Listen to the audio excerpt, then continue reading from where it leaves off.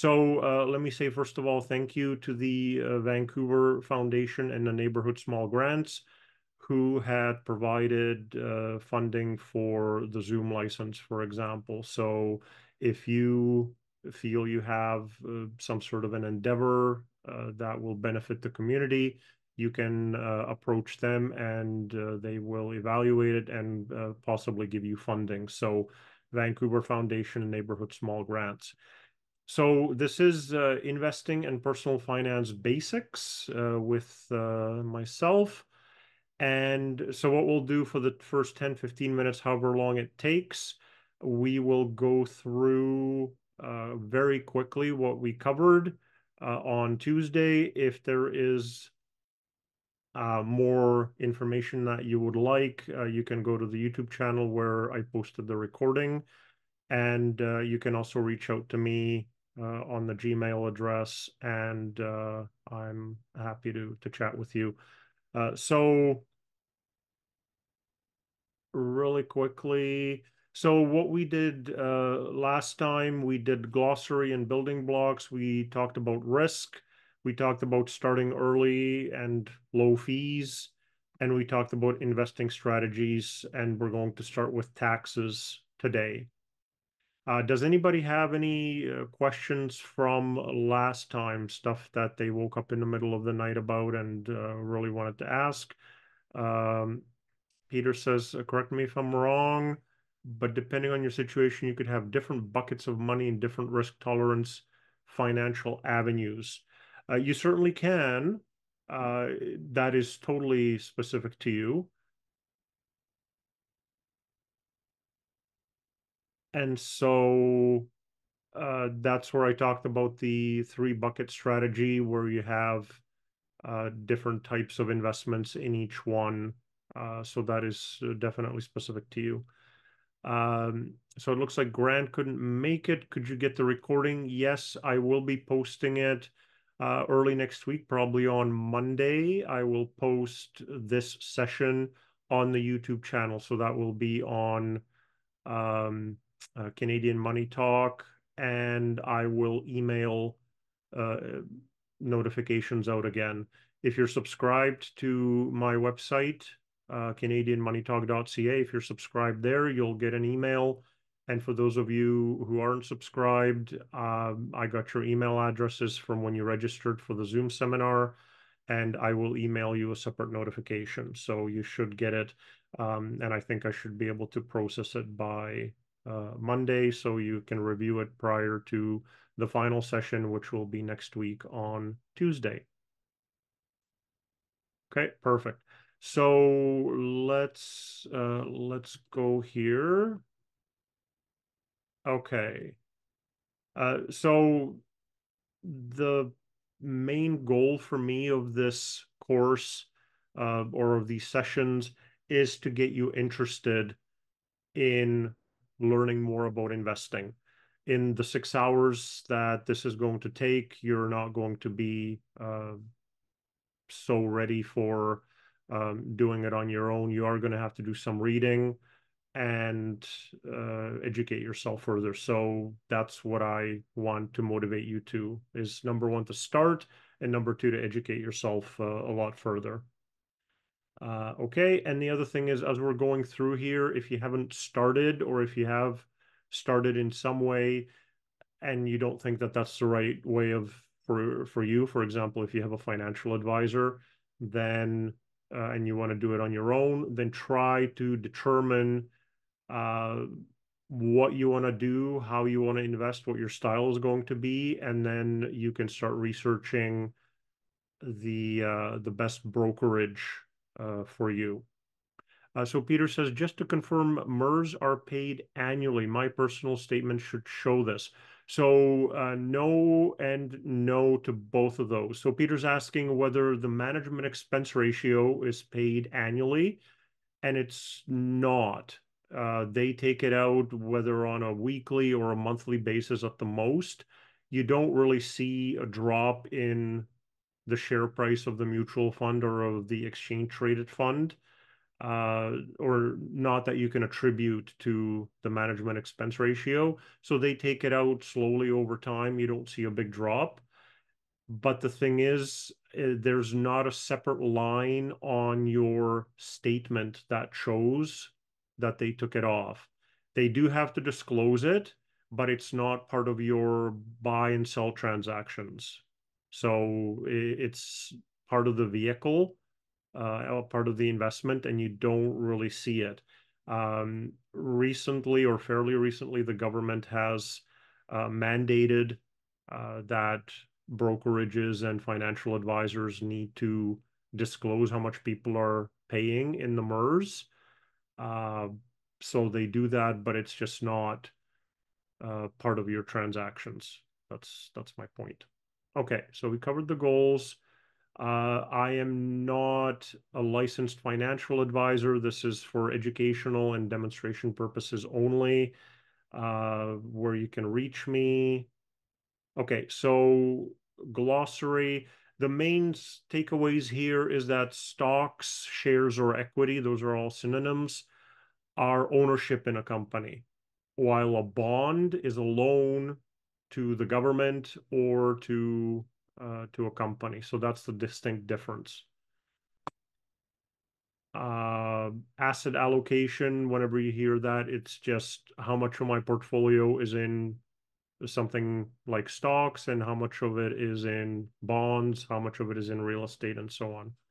Uh, and then index is a benchmark. It is usually a formula that somebody came up with, or there's a list of stocks that gets reviewed once a year by a committee. Uh, like the S&P 500, bunch of people get together and they say, okay, um, IBM is out and Tesla is in, for example. So that's how S&P 500 is composed. Um, it's it's not something that's done in in a super intelligent way. Uh, it's it's formulaic is what I'm getting at.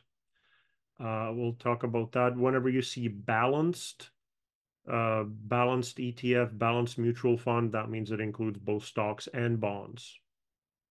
Okay. Um, passively managed versus actively managed. We covered passively managed means it just follows that formula or that index I talked about, or it follows a specific sector like energy or technology, whatever. Uh, while something that's actively managed means that there's somebody making day-to-day decisions.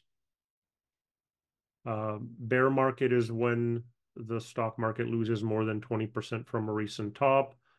Uh, correction is if it only loses 10%. Corrections are fairly frequent. Bear markets may be once every five years, depending on our luck. Uh, bull market means uh, a run upwards. Uh, okay, uh, sizes of companies. So mega cap means that when you multiply the share price times the number of shares they have out, if that multiplied result is more than 200 billion, then it's a mega cap. So it'll be companies that you've heard of. Uh, large caps will be kind of the Canadian big banks, uh, all the way through to small cap, which I know 2 billion sounds impressive, but on uh, the stock market, it's not. Okay. Uh, so we talked about stocks, ownership. If you're buying it, depending on your brokerage, you may pay some sort of a, a flat commission for every transaction. You might pay by the share. Um, the nice thing is, is that after that, you don't pay any further fees. Exchange, oops. Okay. Exchange traded funds. Uh, typically, the ones we're talking about are just a following a, a benchmark. They're uh, just following a formula. They're passively managed, meaning it's just administration that somebody does, and therefore the the MER is uh, quite low. Uh, in the US, I think there's uh, ETFs with zero MER. In Canada, we still have something, so 0.05% through to 0.4, 0.6 kind of thing. Uh, you get automatic diversification, which is nice that you're not putting all of your eggs in one basket. Uh, depending, of course, on what that ETF contains. Next, we have mutual funds. Traditionally, they're actively managed, and therefore they will have a much higher fee. Uh, there are studies done that over a 10-year period, only about 10 to 20 percent, 30 percent perhaps, depending on the decade of mutual funds will outperform their benchmark. And so what people have started doing is they say, well, I'm just going to buy the benchmark. And that's why ETFs uh, came out in the 70s uh, because people didn't like paying the high fees and underperforming the benchmark. Um, I argue you can find good mutual funds which will outperform the benchmarks and ETFs, uh, but you do have to keep a little bit of an eye out uh, on them. So a lot of people just do the low fee ETFs and uh, that I think is is a great way to start. Mutual funds have the same characteristics as ETFs in that they create diversification, um, and uh, if they're actively managed, hopefully you have an intelligent uh, person making decisions. And you can also have mutual funds which are just following uh, an index uh, as well. So that was that. Uh, I'm gonna go quickly through the the risk. Risk means volatility, movement of your investments up and down. There are basically different assets have different uh, types of risk or or different amounts of risk. So your term deposits are perfectly safe. They're insured, uh, but they will pay you a small return. Uh, while uh, small company stocks will have a lot of uh, ups and downs, but over the long run will have a very nice return. So your financial advisor would help you determine what your risk profile is and uh, put you into the appropriate asset types uh, if you're doing it on your own, then you sort of have to have a talk with yourself and determine what types of risk uh, you're or or how much risk you're willing to absorb. Okay. Uh, so what determines? Let me just get to the end here. Uh, just to go really quickly. Um, okay, I'm sort of jumping a little bit. Sorry about that. So there's how you determine what types of investments to buy is number one, your risk tolerance, meaning just psychologically, are you okay if your portfolio drops 5%? Are you okay if it drops 10%? 15, 20? I just see it as part of investing. And so I don't have a problem. Never have I had trouble sleeping, but I know people do. So that means your risk tolerance is low. Uh, second thing is risk capacity. Can you actually afford uh, if your investments go down? Are you having to pull out the money after it's gone down? If that's a possibility, then you need to get in some into something that's uh, safer. Financial education will also improve the amount of risk that you're willing to uh, to take. Um, when do you need the money? That's an important one time frame because there's fluctuations in stock type of investments uh, from day to day, month to month, but over a decade, stocks will win out. But if you need the money back in six months, then you should not be in stocks. And then what sort of return do you need?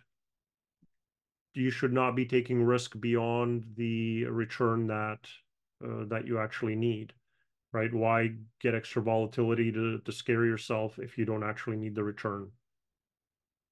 Uh, something uh, that we touched on, and let me go back to here. So um, I talked about something called a bucket portfolio, and you can you can just Google it, and uh, on Morningstar, there's tons of uh, great articles.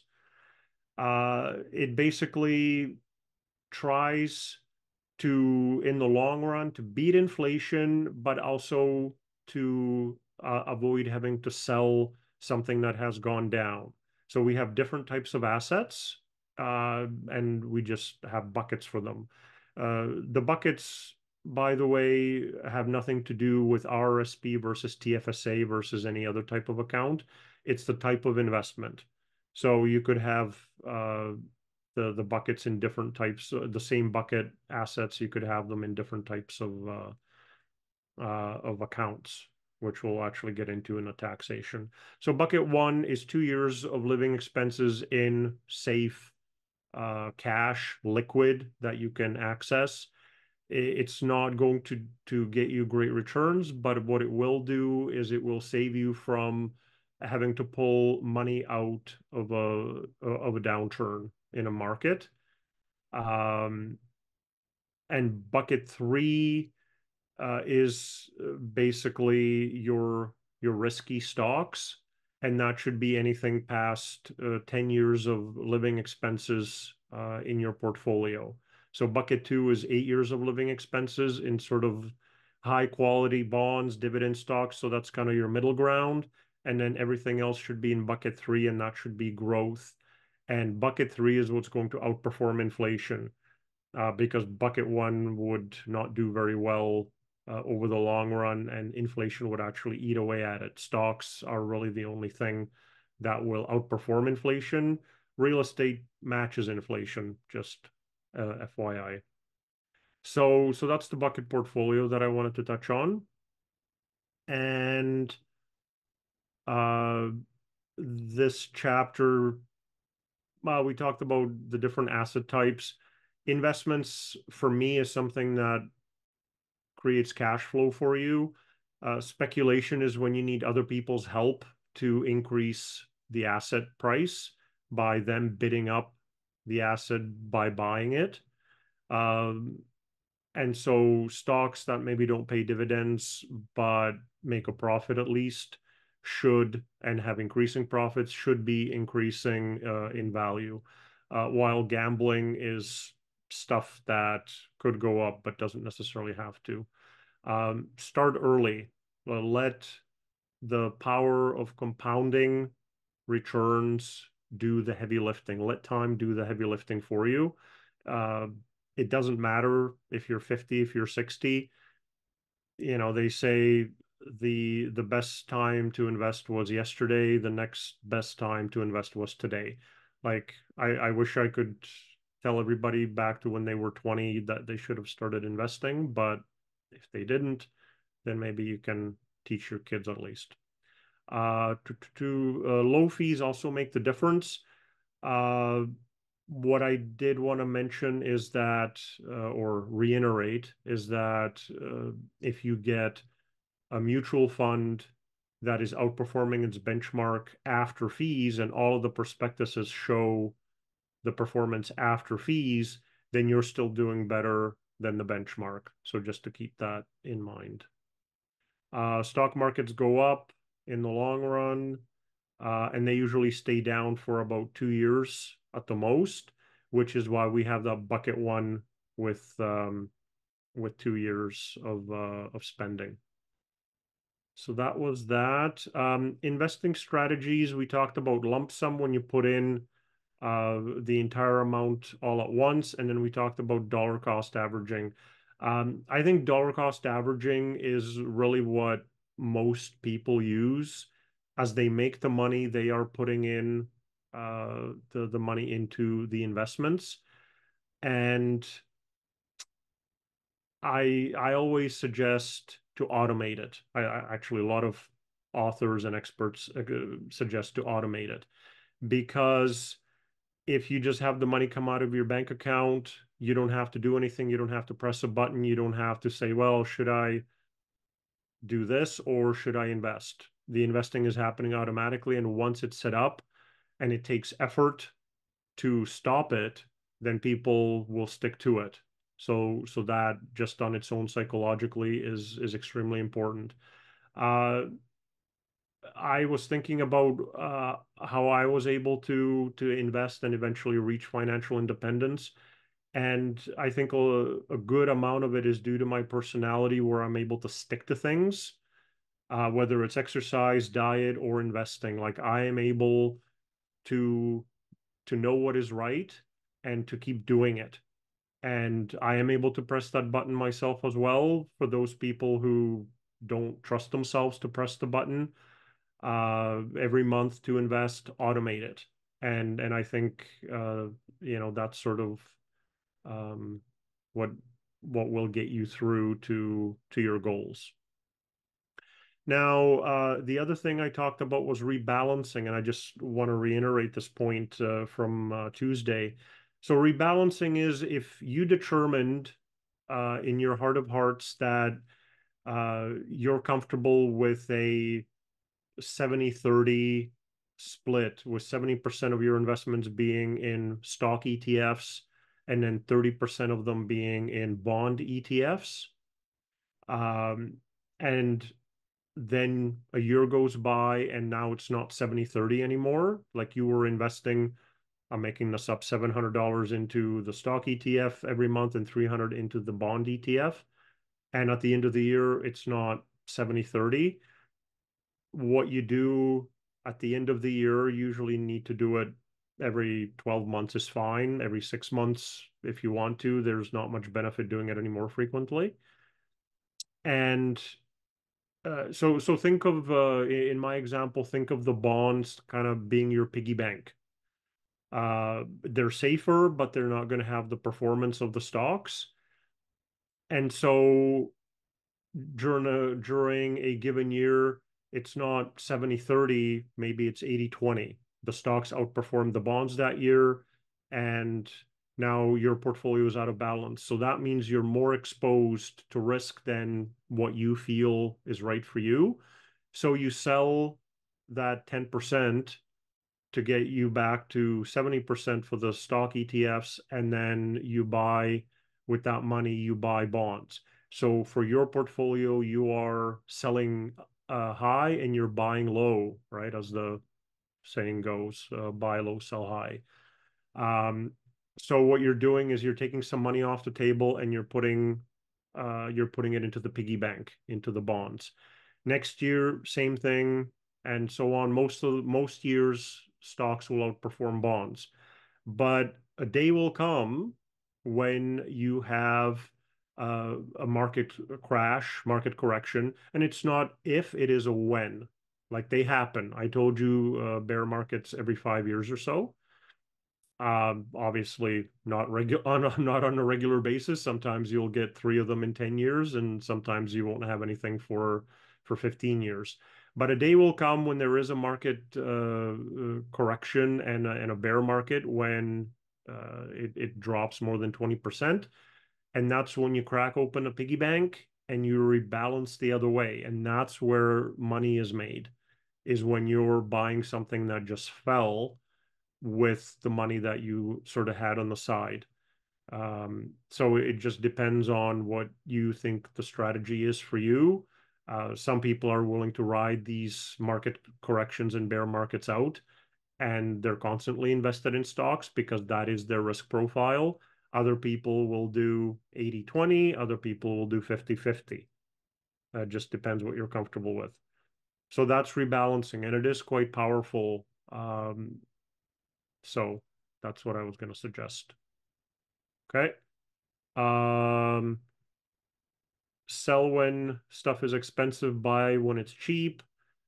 Um, when markets go down, see if you can buy more.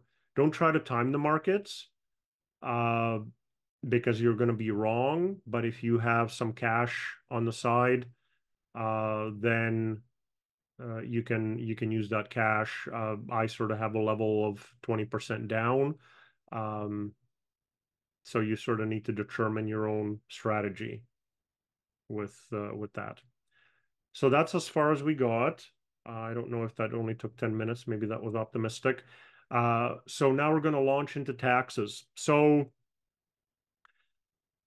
I'm quite tax aware uh, a vast majority of my money is in non-registered accounts, and so I need to be very aware of taxes.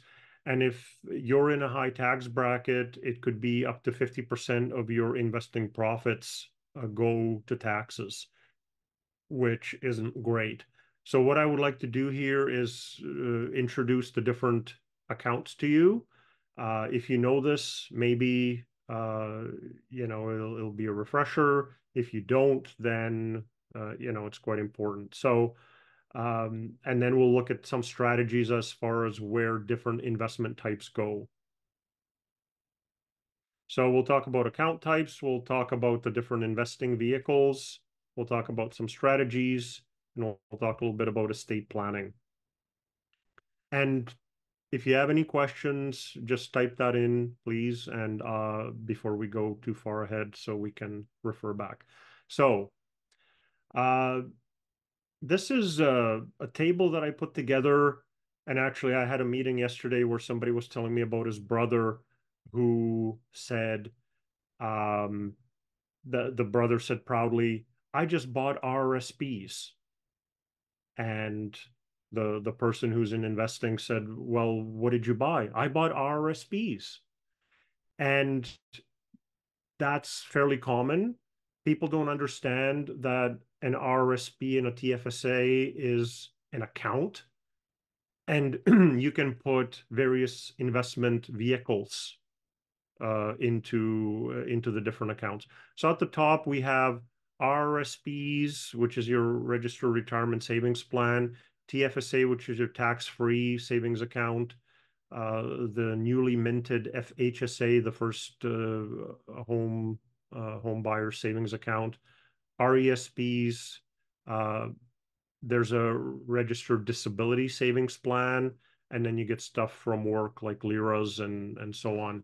So basically, with the exception of real estate, which you can't seem to put into a TFSA and FHSA, you can put cash, you can hold mutual funds, individual stocks, individual bonds, exchange traded funds, you can hold private equity, uh, real estate investment trust, uh, resource, uh, so like gold, silver, that kind of thing. You can hold that in everything.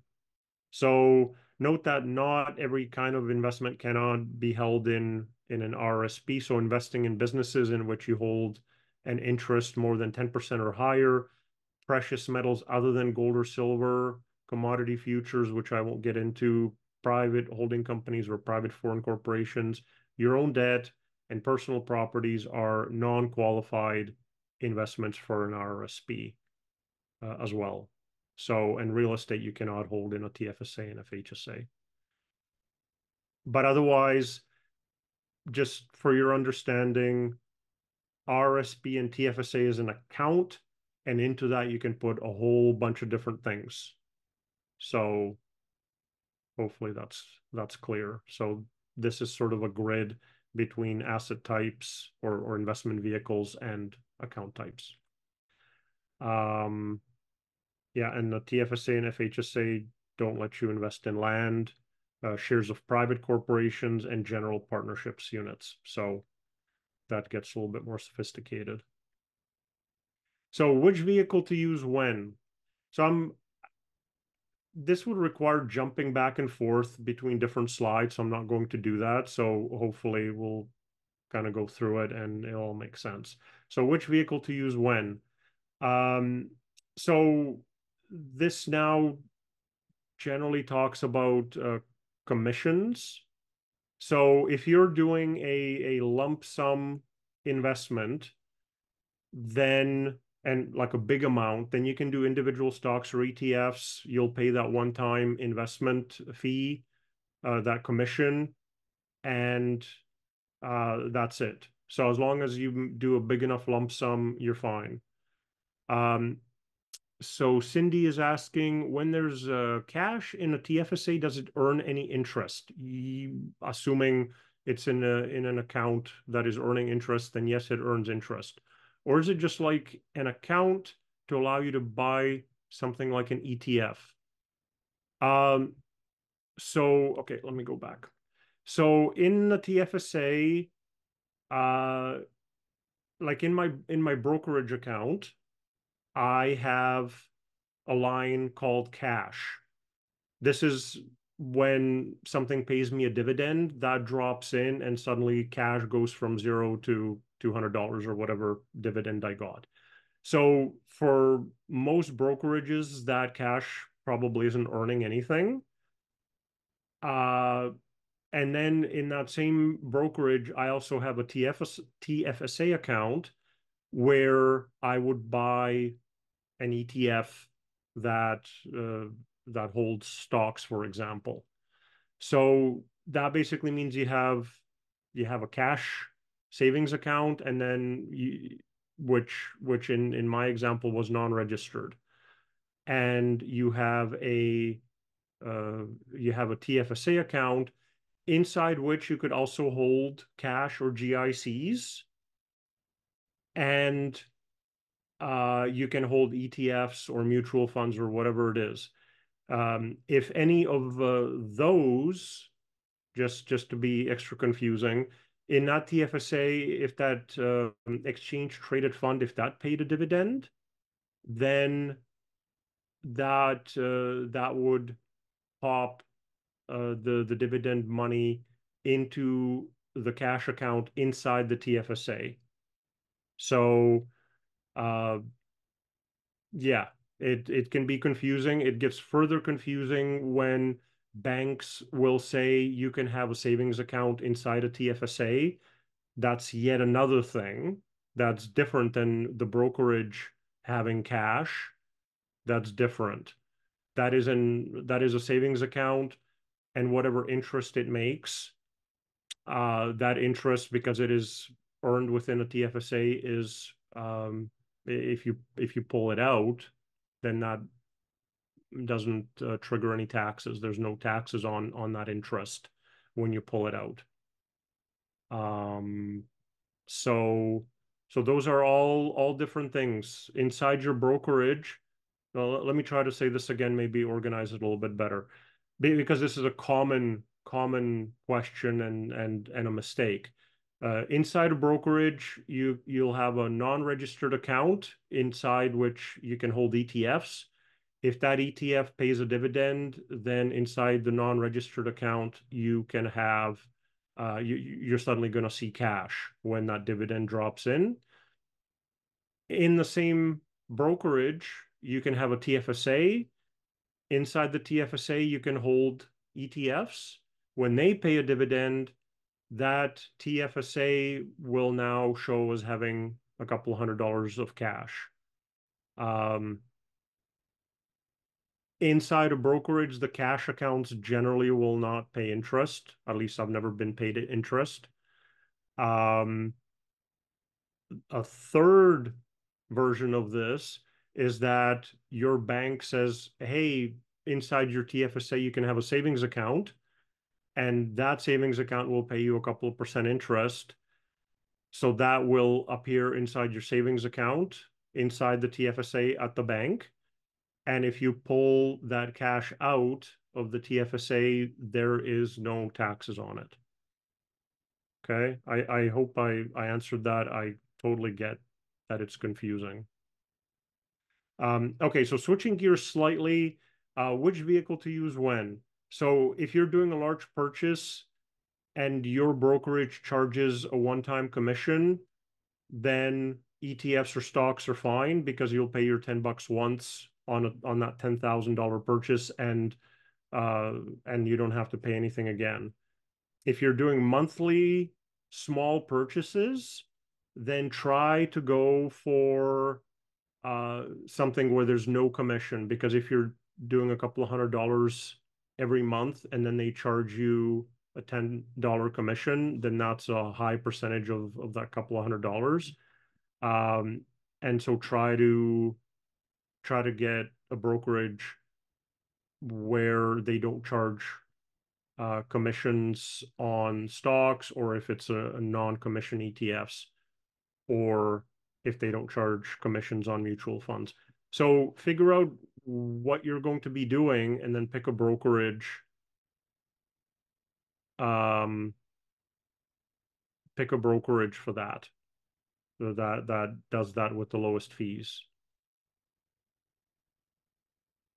Um, okay, so we had a few other questions. Uh, can you explain how private equity can be held in a TFSA? I understand the others. Uh, yeah, so uh, private equity.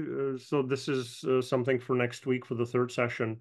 But private equity is investments directly with small companies that don't want to be on the stock exchange, but they still need money. So as an investor, uh, you can go to them directly, and then they just establish a TFSA for you.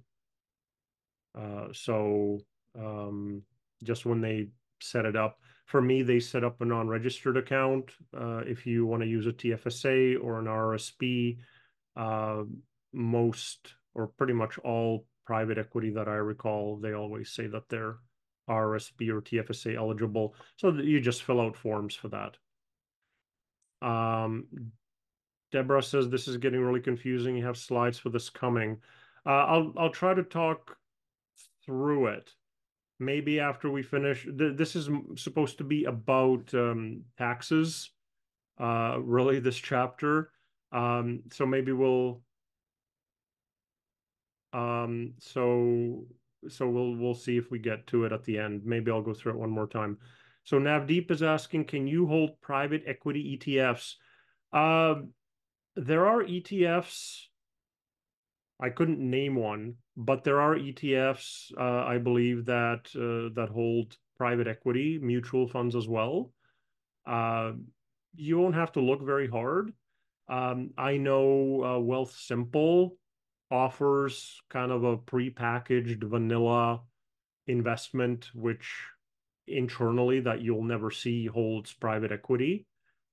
Um, so you can do it various ways. I do it directly, uh, well through a salesman, but uh, like I, uh, I've I've had like yesterday I had a meeting with with managers that run some of the private equity investments that um, uh, that I'm in. Uh, so I'm in directly and I get more access. If you're not really interested and you just want to write a check, then you can you can do an ETF. Uh, mutual funds also hold private equity, like I said, or uh, Wealth uh, Simple created sort of a wrapper investment. Um, so Navdeep is asking, is that a good uh, I guess, better option than stocks. Um, so I'm going to get into this uh, on Tuesday in the next session. I actually compare and contrast the different types of investments. But really quickly, uh, private equity acts differently than stocks. Uh, stocks will tend to sort of flock together uh, on macro events. So wars get announced, uh, change in government, and the whole stock exchange sells off. Okay. Um, while private equity, because it does not trade on a minute by minute basis, is not affected by that. Um, it's also one company, one investment, maybe one project. Uh, you can invest in car washes, self storage, uh, apartment buildings, that kind of stuff. Uh, and so you know my investment in in a car wash was totally unaffected when uh, Russia invaded the Ukraine, while people sold their stocks wholesale. So um, private equity is just a different type of asset, and it's a good diversification. Uh, private equity is the most risky uh, asset class, uh, I would argue because with stocks they have to notify you and then you can make movements with your stocks while with private equity the the, the first time you know something's going wrong is when the the monthly uh, uh, payments that they make to you stop coming. Uh, so it's it's different. It's different. I i certainly wouldn't say it's better um, I've had a stock go to zero and I've had a private equity investment go to zero, uh, completely coincidentally, roughly for the same amount. So I will talk about this on Tuesday a lot more. Um, okay. So if you're doing real estate, obviously you have to do a lump sum. You can't you can't buy I mean, I guess online there's there's websites that you can do small amounts and and invest in real estate. But if you're buying a single property yourself, you can't do 500 bucks a month kind of thing. You have to do a lump sum. Okay, so now back to taxation. Um, so let's talk about the RSP first. This is a uh, the Canadian thing. So RSP, Registered Retirement Savings Plan, is bought with pre-tax dollars. So I, I kind of I was confused about this many years ago. So in case some people are confused, uh, I'll show you uh, how there's basically three synonymous ways of calling RSP. So you can either say you're buying with pre-tax dollars, or it's lowering your income, or it gives you a tax refund if you're using after-tax dollars for the purchase.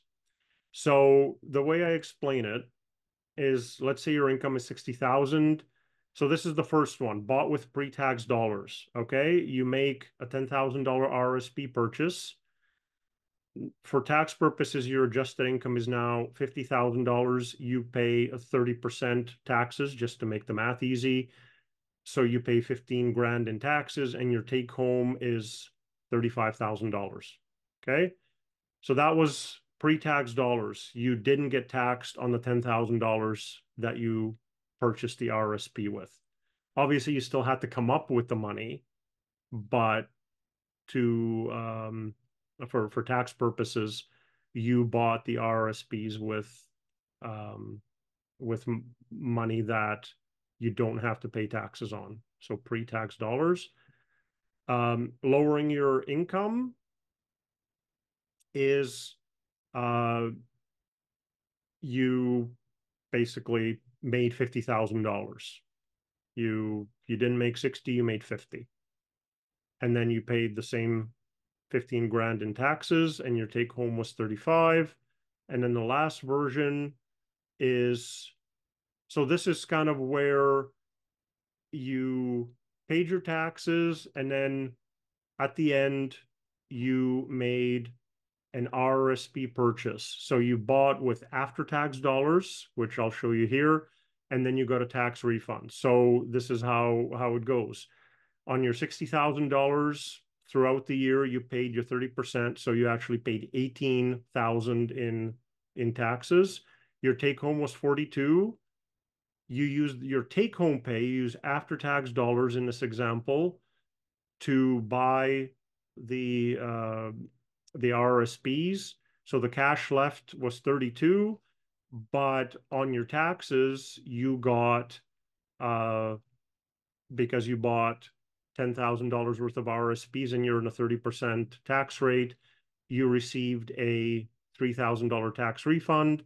32 plus 3 still gets you to the same 35,000. So you can talk about RSPs in multiple different ways. It all works out the same. It's just whenever somebody said, "Oh, but but you're you're buying it with pre-tax dollars," well, they were talking about the leftmost one, um, or the RSP gets subtracted out of your out of your income. Well, that's this one, or you know, I pay taxes all year, and then I got a tax refund. So that's the third one. Okay, so I just because that that was confusing and I didn't really understand what that meant, I illustrated it.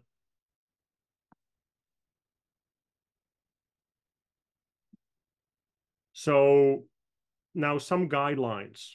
Uh, obviously, talk with your accountant. Uh, but the way I always uh, frame it is use RSPs at the top of your career. I'll go through this again, kind of compare and contrast. Um, so use RSPs at the top of your career when you're in a high tax bracket to lower your taxes.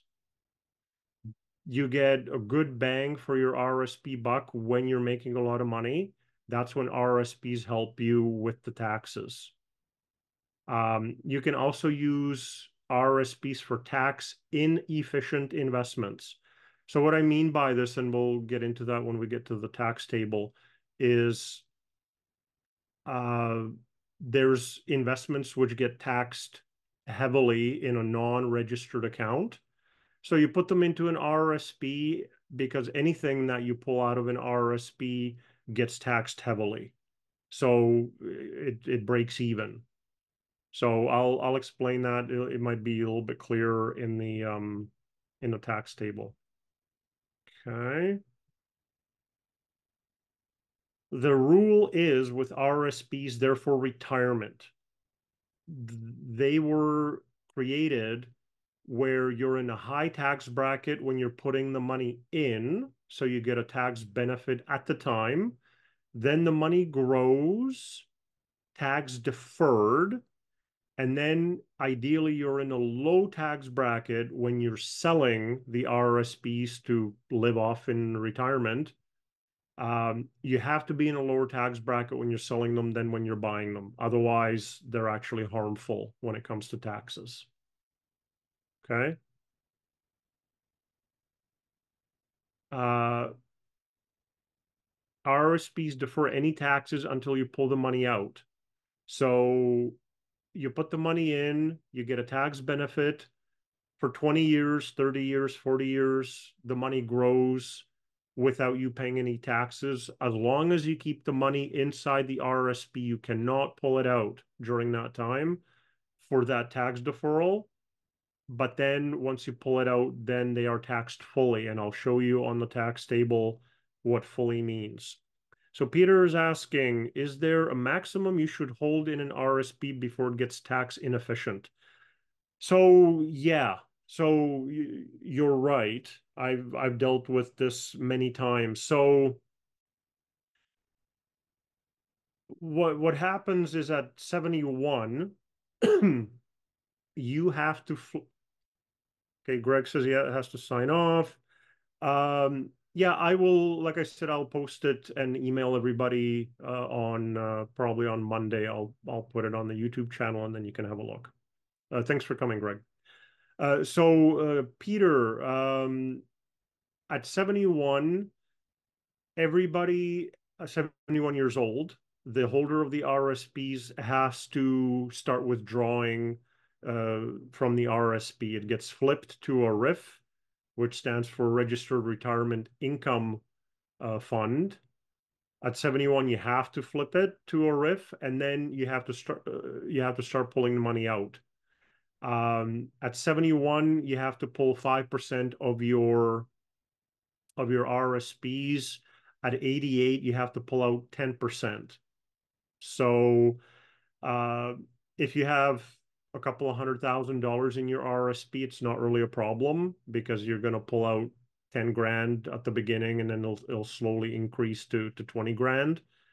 Uh, so it's, you know, that's what you want to be living on anyway. So you, you can be pulling that out. You would be pulling that out anyways.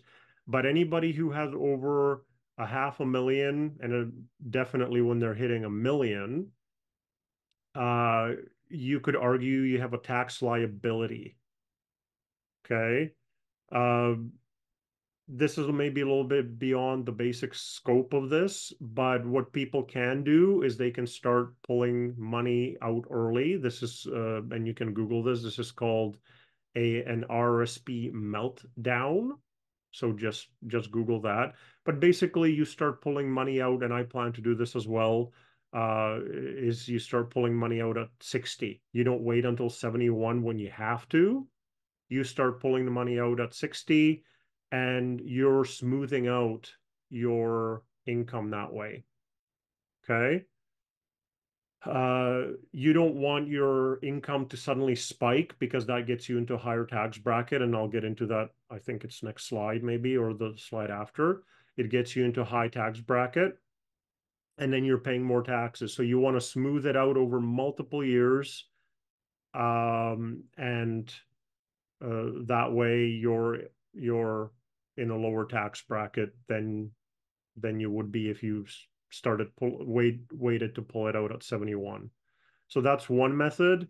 There's a few other methods. They have their pluses and minuses, and I won't get into them, but just being aware that you have a tax liability in an RSP um, there's there's accountants and financial advisors that make their living by by scaring people, saying everybody has a tax liability.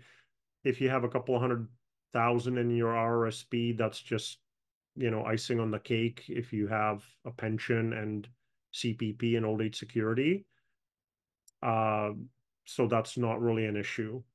Uh, but if you have 500,000 or a million, and and I've run into folks who who did, and they are quite concerned, and I mean, rightly so. It's a nice problem to have. So I, I hope I, I explained that.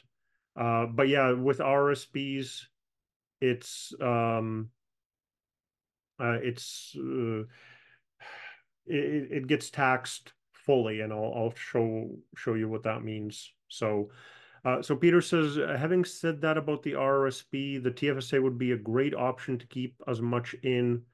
Uh, yeah, so TFSA is tax efficient, and it also does not uh, money you pull out of the TFSA also does not get uh, considered when you're looking at uh, old age security clawback. If you're making too much money, the TFSA does not get included in that. So TFSA has all sorts of uh, great things. The only thing is, um, unless you invested in something super risky that rocketed up, usually people don't have that much in the TFSA because of the limits, right? We're at 95,000 total limit. You know, I, I invested in index ETFs in my TFSA and it's like 165.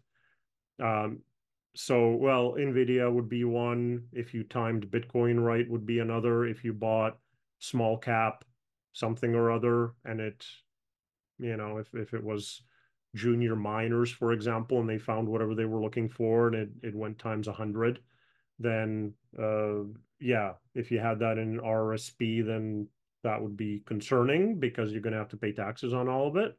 Uh, if you had it in a TFSA then you're laughing uh, which actually will be something I'll, I'll explain.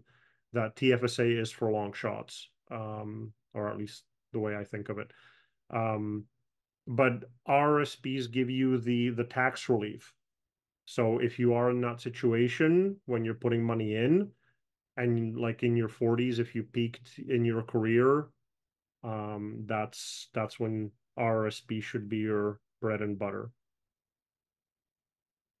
Uh, so when you make a purchase in an RSP, the limit is used up um, and everybody has, um, I want to say it's like twenty four thousand a year, or or eighteen percent of your previous, um, uh, of your previous year's income. That's your uh, current year's limit, whichever is lower. So, I mean, it, it can be quite hefty still. Like if you make a lot of money, you can still get eighteen percent of your previous of your previous year's income as your RSP limit.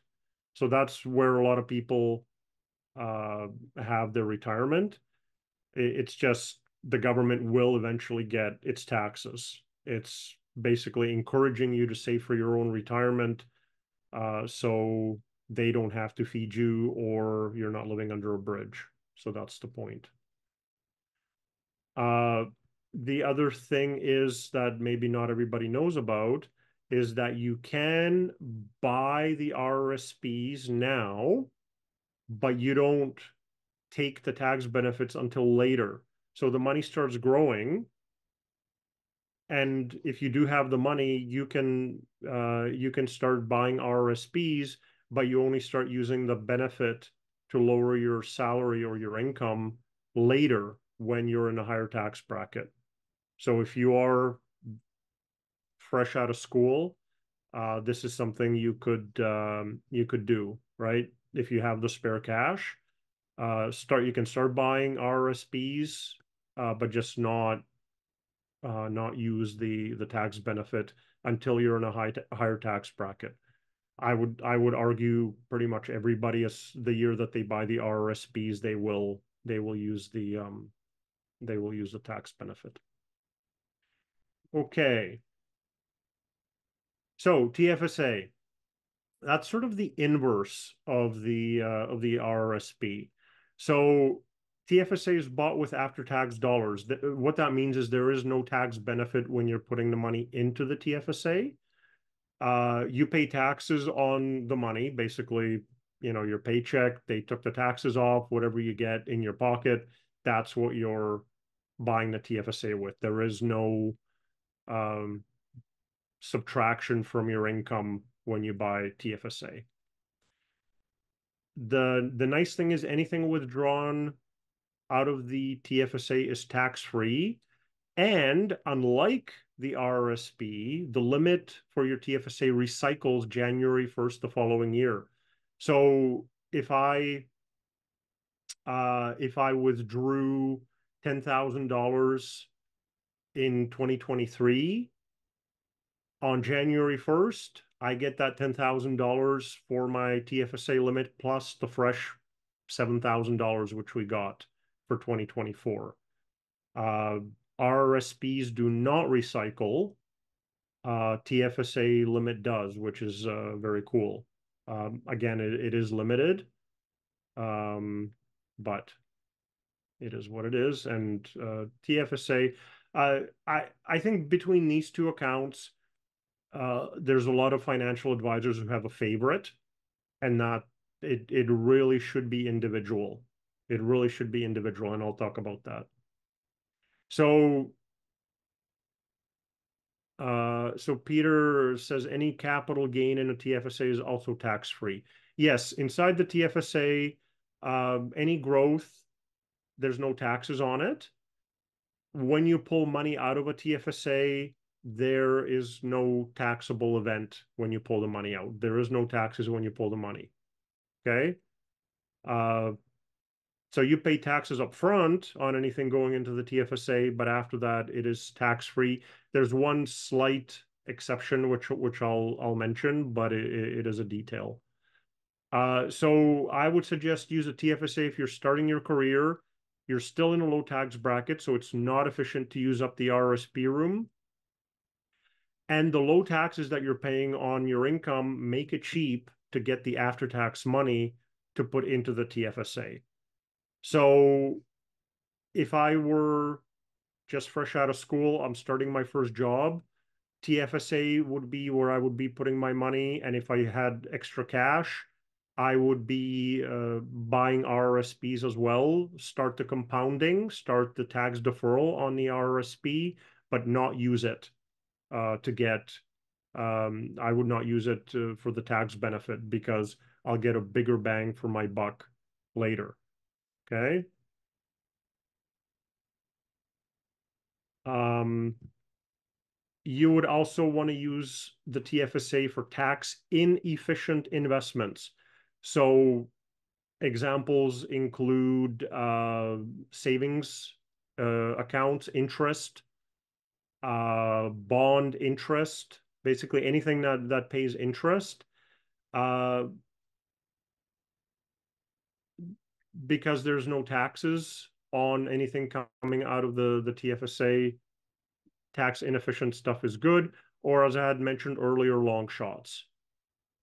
Uh, the um, because if if your investment goes times 10 times 100 not paying taxes on it is is amazing uh, so cindy says if you've never put money into a tfsa is there room to put more than this year's seven thousand limit, like there's more room for all the past years when the TFSA started. Yes, yes, absolutely.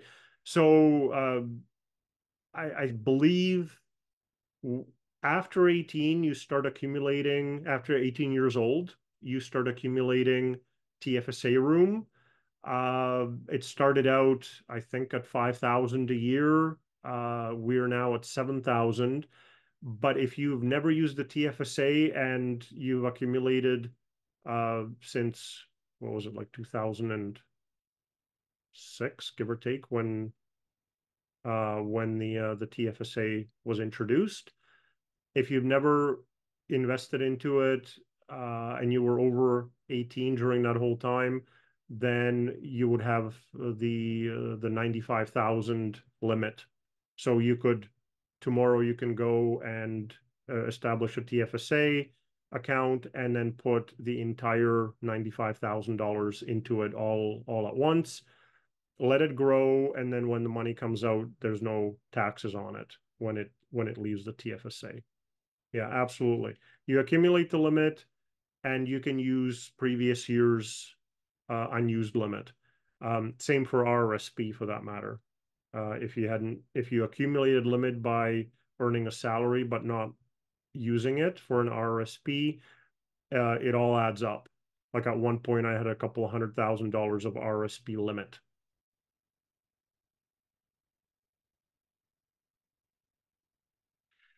Uh, so Peter says you can find your TFSA total limit on the CRA website uh, under my account. So the CRA website, uh, I remember having to to apply for a login and then they would send me a paper login. I don't know if they're still doing that. So it was a bit of a hassle to get uh, an account. You definitely should get one. There's all sorts of interesting stuff, including CPP and and OAS on there. Uh, so you should definitely look at the CRA website and and get a login.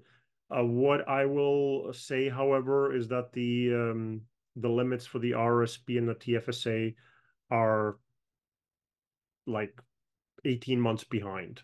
Like they're oh, you can do it online now. Okay, cool. Thanks, Peter. Uh, yeah, I established mine like a decade ago, and they they sent me they sent me my password by mail by snail mail by paper. Um, so yeah, double check, uh, Cindy, double check your TFSA limit on the CRA website. Uh, but once you start putting money into it, I would very much encourage you to do like even amounts, you know, do 5,000, 10,000, whatever, um, and track it yourself. Because if you go and look, it won't be updated. Like I looked and I'm like, that doesn't look right. Like I I know I invested more than that. Like my limits, the the limits are guaranteed to change on January 1st when you get the fresh 7,000. I would argue it, it probably takes them at least a year to update it for any um, any fresh limit uh, that you uh, that recycled uh, on January 1st. Um, like they do get the information, it just doesn't get included right away. So uh, pinch of salt, I guess, on on the numbers you see on the CRA website. Okay. Um, okay. So the the third account that I'm sort of going to cover here is the non-registered or cash account. Okay, Deborah says that they were 19,000 behind uh, behind uh, on her limit number. Yeah. It it just maybe the institutions don't send the information right away, uh, but track it yourself. Track it yourself. Uh, so like what I do is I have an automated 500 every month. So five times 12 is, uh, that's the 6,000 and then I will put in a lump sum January 2nd for whatever the difference is between the 6,000 and the current limit. So, you know, our limits got raised to 7,000. So I put in a, an extra 1,000 on January 2nd. And then for the rest of the year, I just have the 500 going. So that way I know I'm not going to over contribute. Never, ever, ever over contribute to either RSP or TFSA they will charge you a harsh, harsh uh, penalty interest until you pull the money out. Um, if you do it by accident, phone them, apologize profusely, pull the money out right away, um, and get get it back to where it needs to be. Otherwise, they charge you interest like one percent per month, so twelve percent annually. Whatever investments you have would be hard pressed to beat that. Um, so don't over contribute. Okay. Uh, great questions, by the way. So the third type of account we'll talk about is the uh, non-registered or cash account. Cash just means it's not registered. Don't confuse it with actual cash, whether in a savings account or in a brokerage, like I talked about, you know, a half hour ago, where dividends drop in and now you have cash sometimes people will call it a cash account. I'm going to call it non-registered from here on out just to avoid confusion. Um, so you could use non-registered accounts if you're starting your career, if your TFSA has been exhausted and you're still in a low tax bracket. Uh, so it's not efficient to use up RSP room yet. Um, the low taxes make it cheap to get after-tax money, so you're not being taxed very much on your salary if you're kind of at the beginning of your career. So you can put money into the non-registered account. Uh, I would say use the TFSA first. If you've filled up the TFSA, then you could go to non-registered. Uh, you could also argue do TFSA, then the RRSP without using the tax benefit. If you've exhausted both your TFSA and RRSP and you still have money at the beginning of your of your career, then you know you're you're living at home and your mom's cooking for you. Um, if you still have money, then it should go into non-registered. So I hope that all makes sense. Uh, non-registered account is bought with after-tax dollars. So you've paid taxes on on the money that you're using to invest. Um, anything withdrawn is taxed for capital gains. Uh, it's tax efficient because only half of the capital gain is taxable, and I'll show you that on the on the tax table. I think it's next slide. And it is added to your income and then taxed at your marginal rate. So I'll I'll show you the the columns. Um,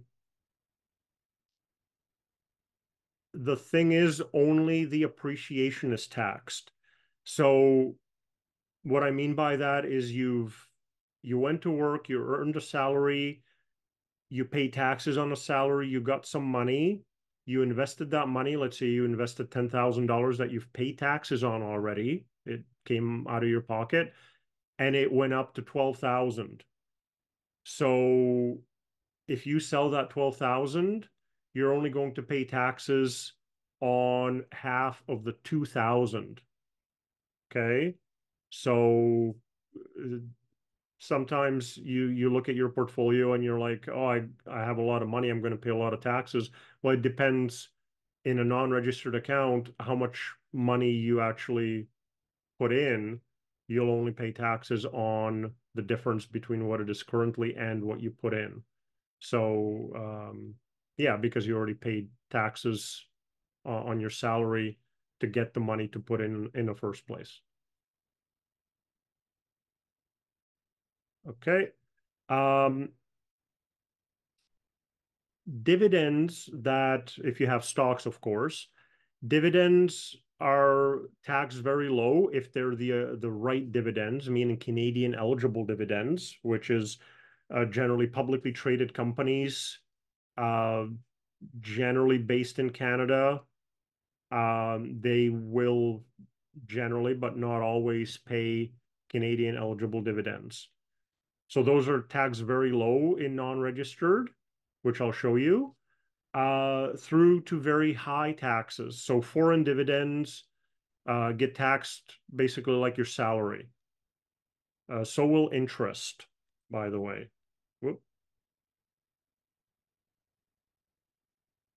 Uh, the other superpower that only this account has is that if you lost money, if you have capital losses, then you can use those capital losses to offset or lower other non-registered gains.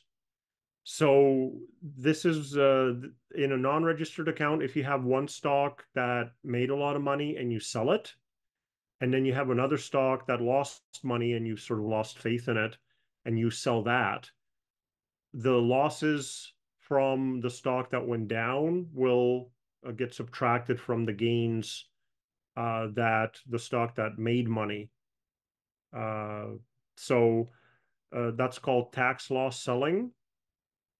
And um, uh, it, that is a, a legitimate uh, tax prevention technique, and it's done in December uh, by by everybody who has the chance. You can sort of uh, you can harvest those losses to give you a benefit now. Um, I won't go into it too much, but just uh, understand there's there's a few other rules about it, and a non-registered account is the only one that has the superpower.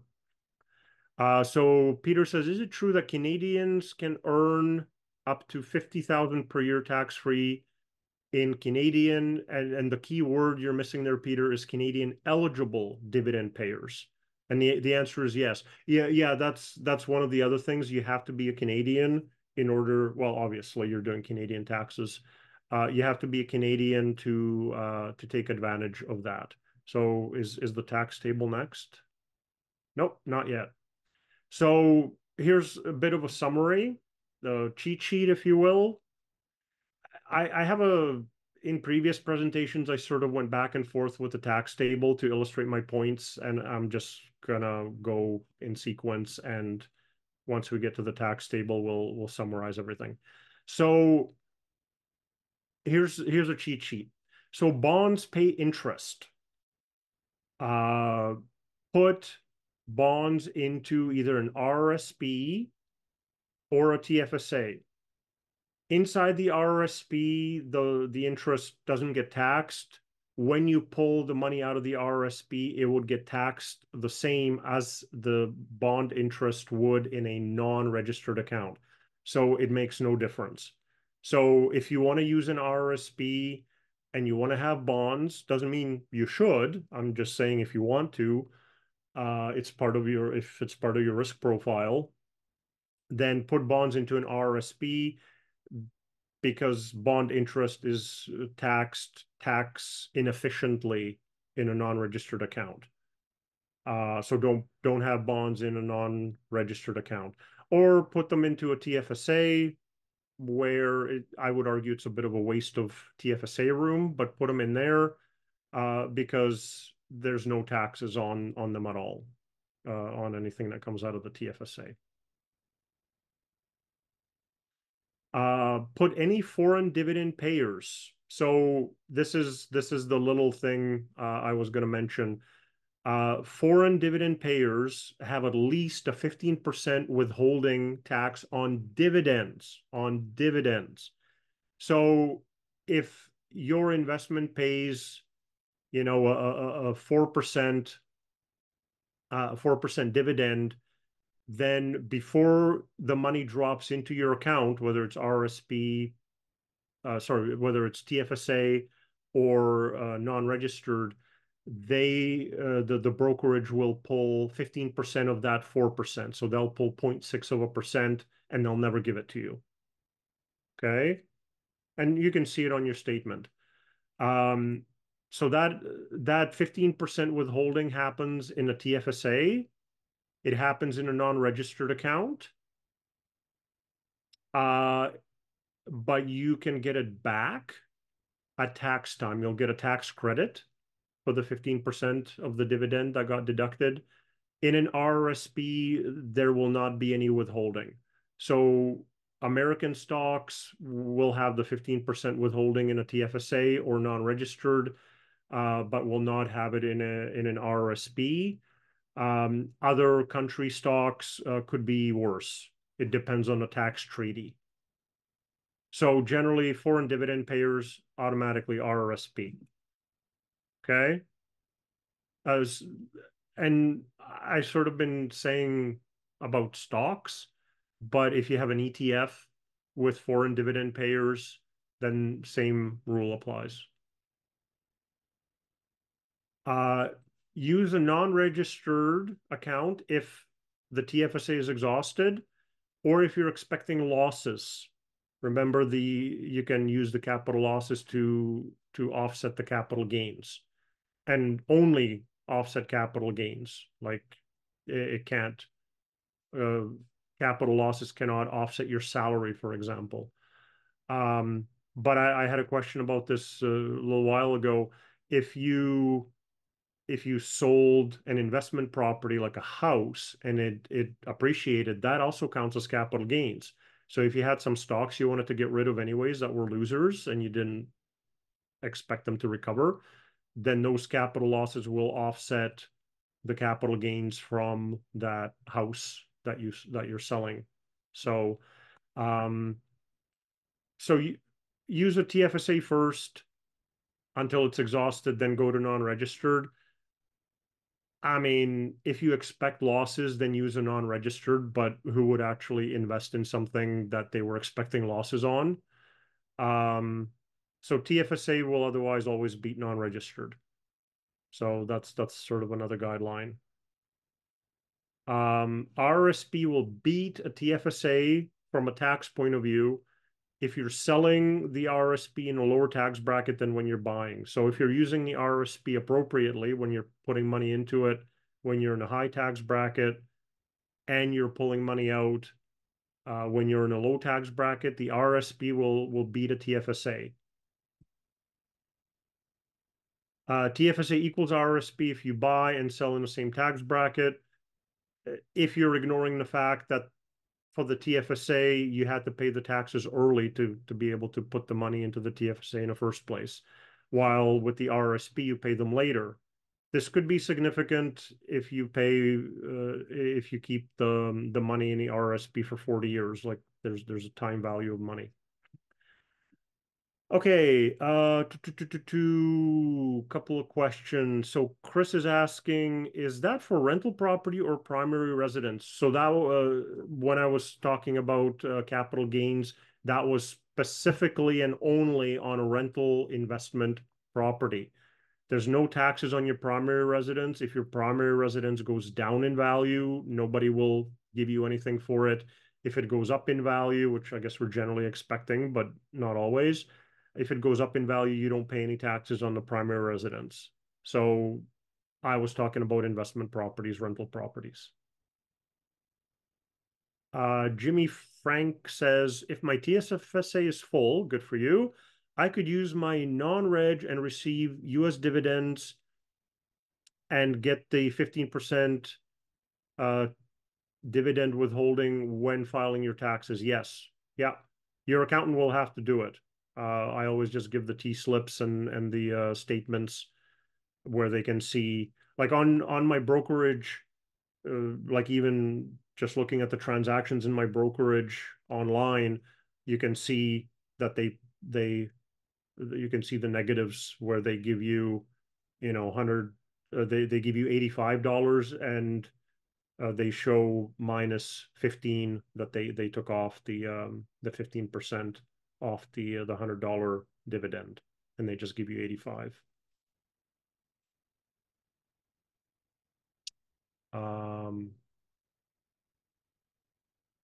yeah, so you have to do your your taxes. So you, I mean, you get it, you get it back as a tax credit. Uh, TFSA will beat RSP if you're if you're selling in a higher tax bracket than you're buying. Uh, yeah, RSPs, absolutely. If if you have any doubt that you're going to be in a lower tax bracket when you're pulling the money out than when you're putting it in, RSPs are are really bad. You just get the tax deferral that you don't pay taxes on it. Um, now you'll pay taxes on it later when you withdraw it, but you definitely need to be in a lower tax bracket when you're pulling the money out of the RSP. Uh, so even non-registered can beat an RSP if you're in a higher tax bracket when you're uh, selling than you, when you're buying, um, especially if you had capital gains because of the 50 per, only 50% of the capital gains being recognized. So even non-registered will beat an RSP if you misuse the RSP. Uh, and then we have the the new for 2023 the first home savings account this is this is quite powerful. It's treated as an RSP when it's being purchased and as a TFSA if it's being withdrawn for the first home purchase. The limit isn't anything to write home about, 8,000 times five, so 40 grand. Like that's in, in Vancouver, that's nowhere near a down payment uh, on, on, on anything. But uh, if you are eligible for it, if you haven't owned a home within the last four years, uh, definitely sign up for it. Sign up for the FHSA. Because even if you don't use the money for a first time home purchase, uh, you'll you're at least creating more RRSP room for yourself. So there's no downside if you're eligible for uh, an FHSA to uh, to set one up. To set one up, and of course the money's growing and they're tax deferred as well. So there is that. Okay, I, I hope that's clear. If you're eligible for it, get it. There's no downside. At, at worst, you'll you'll have extra RSP room. If you and your spouse are renting right now, both of you go and go and grab an FHSA. Oh, there's more. Okay. Uh, students should be investing in a TFSA or non-registered not RSPs, I'll say with the caveat that if if you're one of those disciplined people who disciplined people who could put money into the RSP and not use uh, use the tax benefit that year and save it for later when you're in a higher tax bracket, then use an RSP if you are one of those. Uh, otherwise, TFSA is first and then drift into non-registered after you've maxed out your TFSA. Uh, RSPs will be for interest-bearing investments and foreign dividend payers. Everything is tax inefficient uh, coming out of the RSP, so put tax inefficient things into it. I, I hope that makes sense. TFSA put growth or interest-bearing investments, tax inefficient stuff, but don't put foreign dividend payers into a TFSA because of that 15% of um, withholding on dividends. It's not a huge amount. Let's, you know, let's be real, but if if you can structure your accounts and your investments appropriately, why not? Especially if you're going to be doing something for the next 20 years. Uh, non-registered, uh, put Canadian dividend payers because they're going to be taxed uh, as Canadian eligible dividends, and I'll show that to you um, or put high volatility stuff where you could have losses and then you can use the write-off. But of course, nobody's expecting it. You use the write-off if it happens. Nobody is investing with the write-off in mind because if you think it's going to go down, then don't buy it in a, in any account.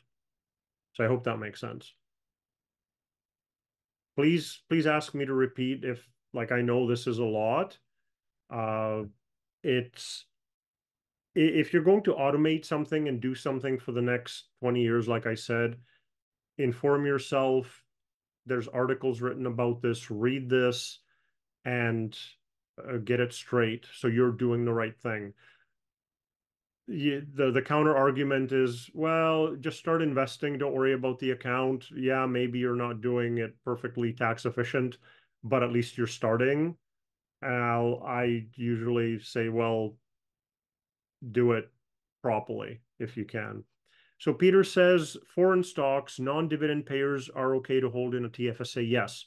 So yes. So what I what I do is um, both in my non-registered and in in a in a TFSA, I try to go for non-dividend payers.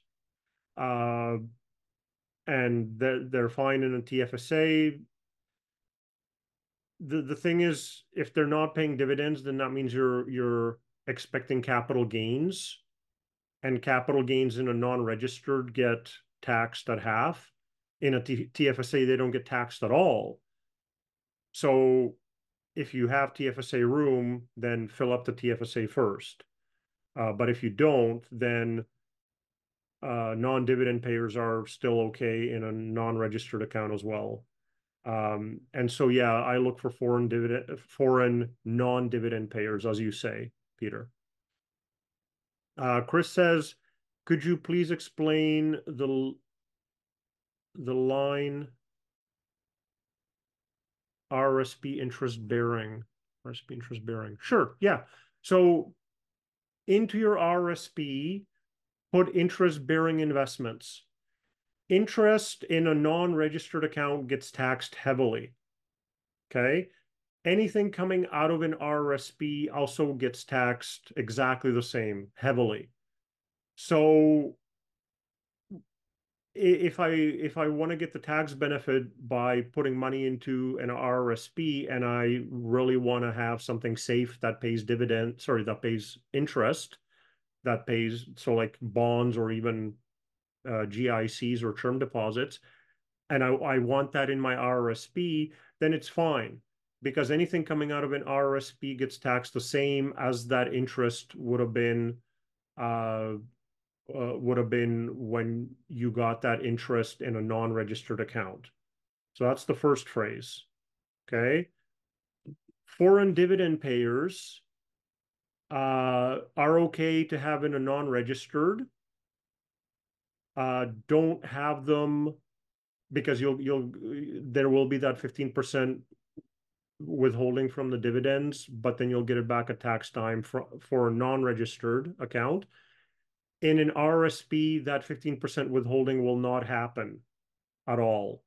So um, that's in a tax treaty because RSP is a uh, uh, is a um, uh, uh retirement account, right?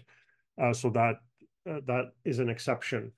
Now, in a just just extra wrinkle maybe an extra information in a non-registered account foreign dividends though get taxed whatever is left after the 15% withholding that gets taxed as if it were salary. It's foreign dividend payers are very inefficient from a tax point of view. Um, so I uh, if I want to have an RSP and get the tax benefit that the RSP gives me, I will put those foreign dividend payers into the RSP, knowing that when I pull the money out of the RSP in 20 years, it's going to get taxed heavily, just like those foreign dividends would get taxed in my non-registered account today. So in the in the RRSP, when you're pulling money out, everything is tax inefficient. Uh, so you might as well put tax inefficient stuff into the RRSP. It, it'll it'll work out exactly the same. Okay. I I think uh, if you do a little bit more reading on it, it, it becomes a little bit clearer. Um, it, it's a lot to take in first time through.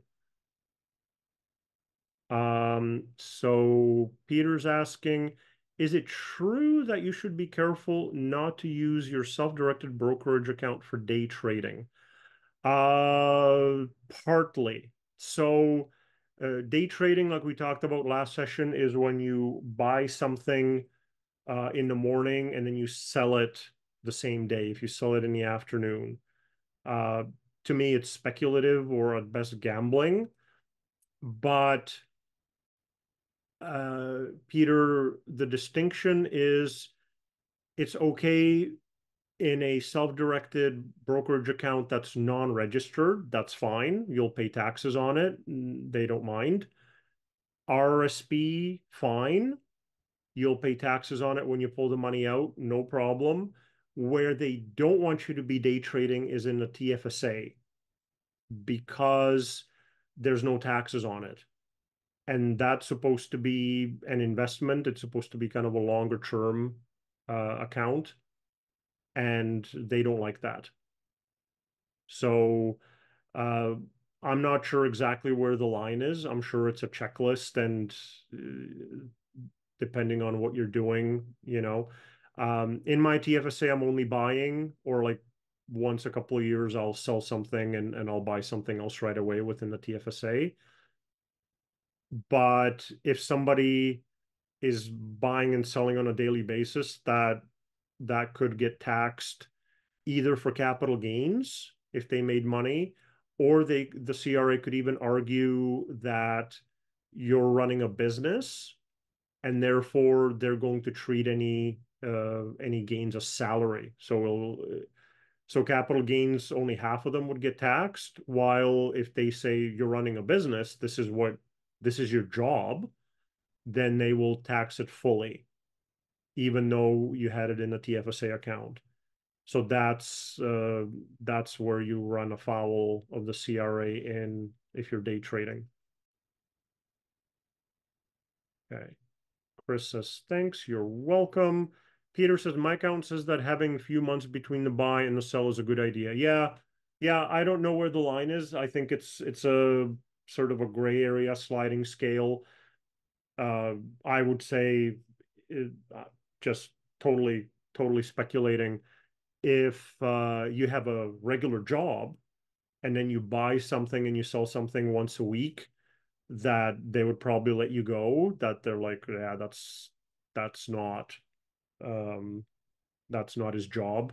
They might argue for the capital gains to be charged, but they're not gonna they're not gonna tax you as if you were making salary. But if you're not doing anything else, then uh, yeah, uh, that that would be that could be bad. Few months, I I would say would be safe. Probably even buy and sell once a month, you'd probably still be okay. Uh, remember, it's the selling, right? Like if you just keep buying, there's no problem. You could buy on a daily basis. Nobody would care. It's the uh, it's the selling. Uh, Jimmy says, in my non-reg account, foreign dividends are taxed fully, just like interest. Yes, they are. Yeah, yeah. Uh, Canadian eligible dividends are very tax friendly, and I'm sure I'm going to get to the tax table anytime now. Uh, while interest um, and foreign dividends are taxed brutally. And of course, in the non-reg, you also get that 15% withholding, but you do get that back at tax time. Um, okay, so I think we we're up to date with that. Cool, cool. Great questions, guys. Uh, okay, so as a strategy, uh, so red is is your uh, salary or income from your job.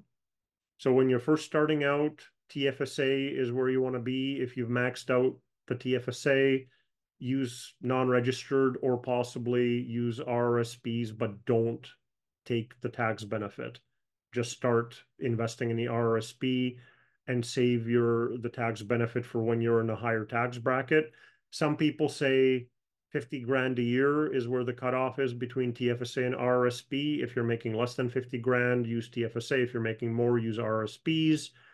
I try to add a little bit of nuance to that. Say, if for you, if you don't think you're going to make much more money than, you know, the usual inflation adjustments, like if you're sort of at the peak of your career, RRSPs are it. Whether you're making 70 grand or 270 grand, RSPs are it because you're sort of at the peak of your career. Uh, and that's where you're going to get the best bang for your RSP buck from a tax point of view that you're going to get. Okay. Um, I had a friend of mine who was making a lot of money and he was sort of in his peak earning years and he went to a financial advisor and the financial advisor put him into a TFSA which I mean, at least my friends started investing, but the that was the wrong account. Um, now the the point is when you retire, and I mean you don't have to have a straight drop down. You could you could ease out of it on a diagonal, but you need to start withdrawing from the RRSP uh, when you're making less money than when you were putting it in. Right, that was the key. Or, that that was the key for for the RSP. Okay, tax table. I know I've been promising this. This is the exciting part. So a couple of things to think about uh, as we look at it. Other income is taxed the highest. And so it'll be a column called other income. It includes taxes on earned interest. So we were talking about interest being not tax efficient. RSP benefits and withdrawals are also taxed in that column, and the foreign dividends that we were talking about in non-registered accounts. For eligible dividends, I think this is to Peter's previous point, you can pull 50,000 basically tax-free if you have no other income, depending on your province. Uh, depending on your conspiracy theory level, the tax table caters to investors. Uh, it caters to rich people.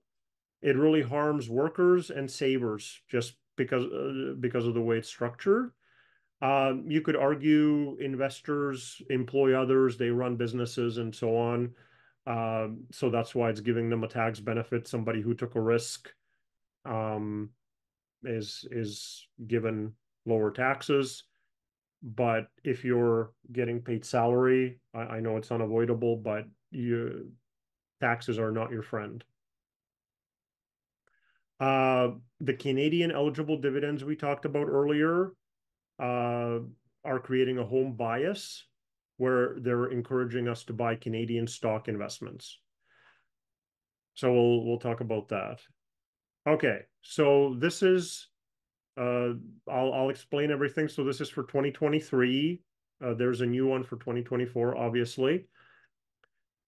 This is uh, this is from uh, taxtips.ca. You can find the same table for your for 2024 and for your own uh, province. Uh, this combines federal and the provincial tax brackets and tax rates. Um, for 2024, I had a quick look and these numbers stayed the same. The only thing that happened was the tax brackets shifted. So when I'm talking about tax brackets, I'm talking about this column. And these numbers, uh, we have to be perfectly clear here, and you have to understand this. These are marginal tax rates. And what marginal means here is uh, if if I'm already if uh, yeah, I can't I can't highlight it. So if I'm in in the fourth tax bracket, if I'm making already, this is the important point. If I'm already making ninety-five thousand dollars, and I make one more dollar, I pay thirty-one cents in taxes on that one dollar. The thirty-one percent is not, I repeat, is not on everything that I made. The first 45,000 in British Columbia is taxed at 20%. The next 8,000 is, is taxed at 22. It's incremental. Like no, you'd be shocked how many people think that if they make one more dollar that's and they get into the next tax bracket that they pay the higher taxes on all of their income like nobody would try to get ahead in life you know what i mean uh, my father thought that. Multiple people I've talked to thought that. That's not how it works. It's marginal. For one more dollar, that's how much you pay. If you're making 95 grand in BC in salary or wages or interest or foreign dividends, that's all in, in non-registered. That's Cindy. okay, well, Cindy, don't don't tell us. Sorry, I'm just poking fun. Uh, if if I'm if I'm working for a living and I'm making 95 grand, my average tax rate, just eyeballing it, is probably 23% maybe. There's calculators out there that that if if you're really interested. Your average tax rate is 30 is 23%, give or take. Just I, I kind of eyeballed it. Okay, it's not 31 just because you got up there. Um, so, so the more money you make, the higher taxes you make on the additional money that you're making. So when I'm talking about getting a good bang, Cindy, uh, if if I'm talking about getting a big, uh, better bang for your RSP dollar, in the higher tax brackets. What I mean is if you're making in salary over a quarter of a million dollars and you buy RSPs, the first RSPs will will give you a 53 and a half percent uh, tax benefit. And then as you're uh, as you go down into into the, the lower tax brackets, then you get less and less of a tax benefit. You know, uh, uh depending on how much money you were making. Once you get into the second last tax bracket by buying more and more RSPs, now your um, uh, now you're getting a 49% tax benefit, and then you're getting a 46, and then 44, and, and so on, right? So if you if you're making 50 grand today and you're at the beginning of your career spending RSP room to get a 22% tax benefit when you could save it for later when you could get a 40% tax benefit. You know it doesn't make sense if if you know you're going to make more money later. Okay? So RSPs you get your benefit in this other income column. When you pull the money out you get taxed in in this other income column as well and in non-registered accounts if you get foreign dividends they are taxed here as well Okay. So capital gains only happen in non-registered accounts once again. Yeah, Peter says it would be nice to make over 240K. Yeah, fair enough. Uh, interestingly enough, I would argue that anybody making over 100 grand would probably be a contractor and be incorporated. But I'm told that there's lots of people who who make huge amounts of money uh, in salary and, and are just getting killed by taxes. So, you know, if if you if your company won't let you be a contractor and be incorporated, uh, you're you're paying the taxes. You if you make more money, you're still bringing half of it home, or almost, but you know, you're you're definitely getting getting beat up by taxes. So in a non-registered account, if your assets appreciate, you get capital gains, uh, you'll notice it's always half of the other income column.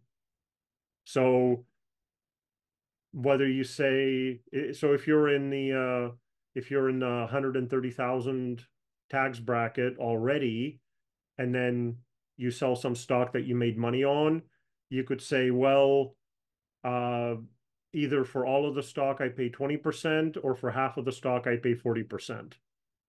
It, it works, obviously the math is the same. So capital gains in non-registered accounts are taxed favorably because they're taxed, only half of it is taxed. Okay, I hope that makes sense. Now we move on to my favorite, dividends. So I constructed, as I mentioned uh, before, just by virtue of running out of RSP and TFSA room, uh, most of my money is is non-registered, and I invested heavily in uh, Canadian eligible dividend payers. So that's this eligible uh, column. And uh, as Peter mentioned earlier, for the first 50,000, uh, give or take, depends on the province, you're basically not paying any any taxes. If you have no other income, now note, if you have a salary and then you get dividends, that they add up together and puts you into a higher tax bracket and you pay on everything there. Just to be clear. Okay. But if you have if you have a hundred thousand dollars worth of uh, Canadian eligible dividends, your average tax rate is what? Three percent, four percent? because you had negatives on the first half of it, and then you had one and five percent on on the second half of it. So this is really structured for people to invest Canadian uh, and to to invest, right? Um, non-eligible Canadian dividends. Uh, the only example I can think of is if you have your own corporation and you pay yourself and I'm not going to get into it too much, but you can pay yourself either salary, where you will get taxed in the other income, or you can pay yourself non-eligible dividends because your corporation is not, um, it's not publicly traded, so it, it doesn't pay Canadian eligible dividends directly. Okay. So for my, uh, for my uh, hopefully the rest of my life, I'm going to be paying just a couple of percentage points. Uh, because if I don't sell anything, then uh, I just keep paying the paying the taxes on the dividends and I just keep getting the dividends. If I do sell something, then I pay the capital gains, which is still not too too bad. So uh, I'm a little bit behind with the comments. So Peter says, can you show us your favorite dividend payers? Uh, yeah, like I'm pretty much uh, into the Canadian big banks. Uh, not that I'm suggesting them, I'm just this is what I have. You can look on CanadianMoneyTalk.ca. You can go and and I actually post my portfolio every month. Uh, it's just a, a printout out of my uh, Quicken tracking software. Uh, so you can look exactly what I have and how much I have if you're interested. Uh, it's what works for me. Uh, remember, we talked about risk profile and what you want out of your portfolio. I want cash flow out of my portfolio. I I want some growth, and that's where I have the uh, the non dividend payers uh, and like for foreign um, for foreign uh, stocks. So that's where I get the growth, um, or through mutual funds or ETFs. Uh, but for the dividend payers in Canada, we're quite limited. We basically have oil companies which pay uh, nice dividends these days, and we have the financials, and that's it. Um, I know the Canadian banks will never ever cut their dividends because they haven't for literally a century. So I feel pretty secure with that. Uh, and and they pay they pay very nice dividends. Again, this is right for me. Please do your own research. Uh, Jimmy says, are there ETFs made of Canadian eligible dividends? Yes. Yeah. Uh, there's uh, Canadian, uh, you can look for dividend, uh, Canadian dividend aristocrats. So these are ETFs that hold within them Canadian dividend payers. and the aristocrat part means that they've been increasing the the payments of the dividend. They've been increasing the dividends for at least the five years in a row. So that's what makes them aristocrats. Okay. So it, the tax table, I think, is important because it's not what you make, it's what you get to keep. So just be very careful of that. Okay. Uh, so government pensions, estate planning, tax strategies. So I mentioned earlier, I don't know if you guys can see that, but use RSP meltdown, taking the RSPs out before 71. If you have a significant over half a million RSP to avoid being forced to take out larger amounts at 71. Registered accounts are otherwise usually spent last to keep tax deferred growth go going. So what that means is registered accounts, especially RSPs where the limit does not recycle, um, uh, you want to keep the RSPs as long as you can without withdrawing from them until you're forced to at 71. Uh, if you have a lot of RSPs, as I discussed previously, then start taking them out early. Uh, Peter says, uh, what is the difference between dividend aristocrats and dividend kings? So there's a there's a significant difference, and I don't know why in, in the naming uh, between the U.S. and Canada. So in Canada we have dividend aristocrats, and that just means five years. In the U.S. they have dividend aristocrats, and I think that means at least ten.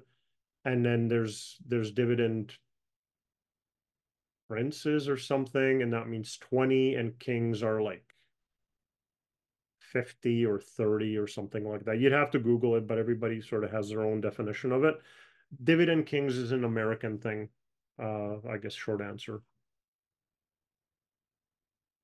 Uh, government pensions, so old age security, uh, CPP, they are adjusted for inflation, so that's a good thing.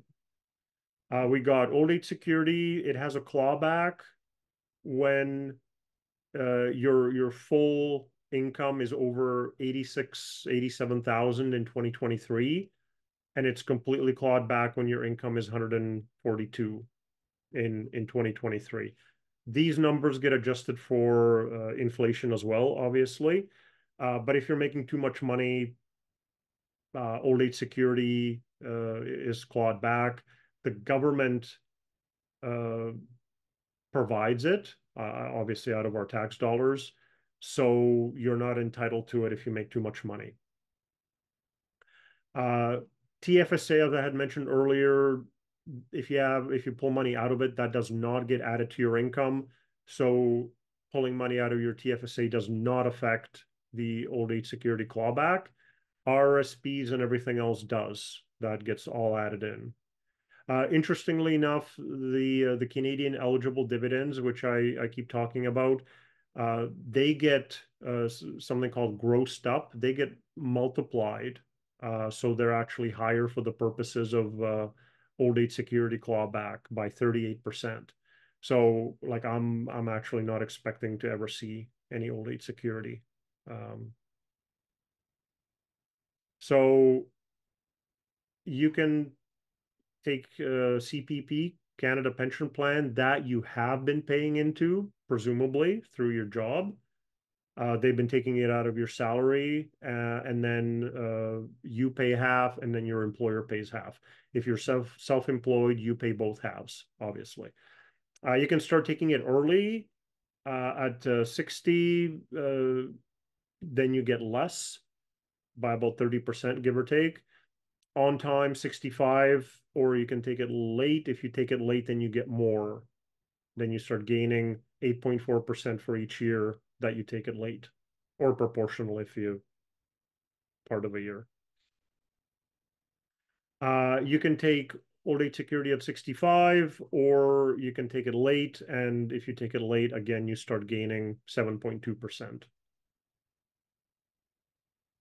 So general guideline uh, take CPP and old age security late if you don't need the money early and there is some amount of longevity in your family. So if you have, you know, an aunt who lived till 95 and an uncle who made it to 88, uh, take everything at 70, you'll get higher payments and you'll still get a, a decent number of payments. Uh, on the flip side, if, you know, everybody in your family died in their 70s, then take it at 60 because if you wait till 70 then you're not going to get very many payments even though you're going to get higher amounts um, on that uh, uh, Canada.ca website, you can get information about your CPP and old age security uh, if you started taking it now. Uh, for CPP, there's some complicated formulas. They they throw out uh, the your eight worst years and and that kind of thing. Um, it's it's still not a huge amount of money, anyways. Uh, if you add maxed out CPP, which most people don't max it out, and uh, old age security, which maxes out if you've lived in Canada for 40 years, um, then I think you in 2023 it came to about 18,000 or, or 20,000 or so. But people don't max out the CPP. Uh, they do max out the old age security frequently. Uh, so estate planning, uh, just some thoughts. This is uh, I'm not a lawyer, so this isn't something to to act on. Uh, but keep significant assets in trusts. Uh, you will be paying accounting fees, but then the assets get taxed in the hands of the beneficiary. So if you know you you're going to be fine and you're going to buy, you know, your 15th uh, uh, 15th investment property, then put it into a trust for your children. So that way uh, it doesn't get taxed uh, when you're trying to transfer it to them or when you pass away. It's it's already theirs, but with the trust, you can limit access. You can uh, limit them from selling it, that kind of thing. Uh, Jimmy says, if someone's income is over 100K, is the Canadian dividends income in the non-reg account taxed at the normal tax rate or the rate you showed earlier? Yeah, the rate I showed earlier. Um, it's I'm, not going to go go back up there because I'd lose my place, but uh, okay. well, let me let me go back up there. so it, just look up how much your total income is in the first column and then just look across and see how much you're you're going to be paying on one more dollar. But uh like if you're making a, a huge amount of money, you're going to get on one more dollar of Canadian eligible dividends, you're going to be paying quite a bit. But if if if your only income is Canadian eligible dividends, your average tax rate is still pretty low because of the slow run up and the negatives up front. Uh, comparing it to capital gains, for example, which start at 10% and 11 and so on. So uh, the average tax rate, I would argue, for Canadian eligible dividends is always going to be low. Um, but you always stay in the column for the asset. So you, you stay in the appropriate column for the uh, for the asset. So if if you have a little bit of salary and then a whole bunch of Canadian eligible dividends, uh, you're still not going to pay very much in taxes because most of your income is going to be taxed in the eligible column. Um, and then you're you're going to pay a little bit for the salary, right? So if you're if you're making 115 and 100,000 of it is in eligible dividends and then 15 is in other is is a salary, then yeah, on that 15,000 you're probably going to pay 38 and 32 uh and then you're going to pay 15, 8, 5 and probably 1 and and negative 6 on on the 100,000 of the uh, of the eligible dividends. So yeah, the, the answer is you stay in the appropriate column.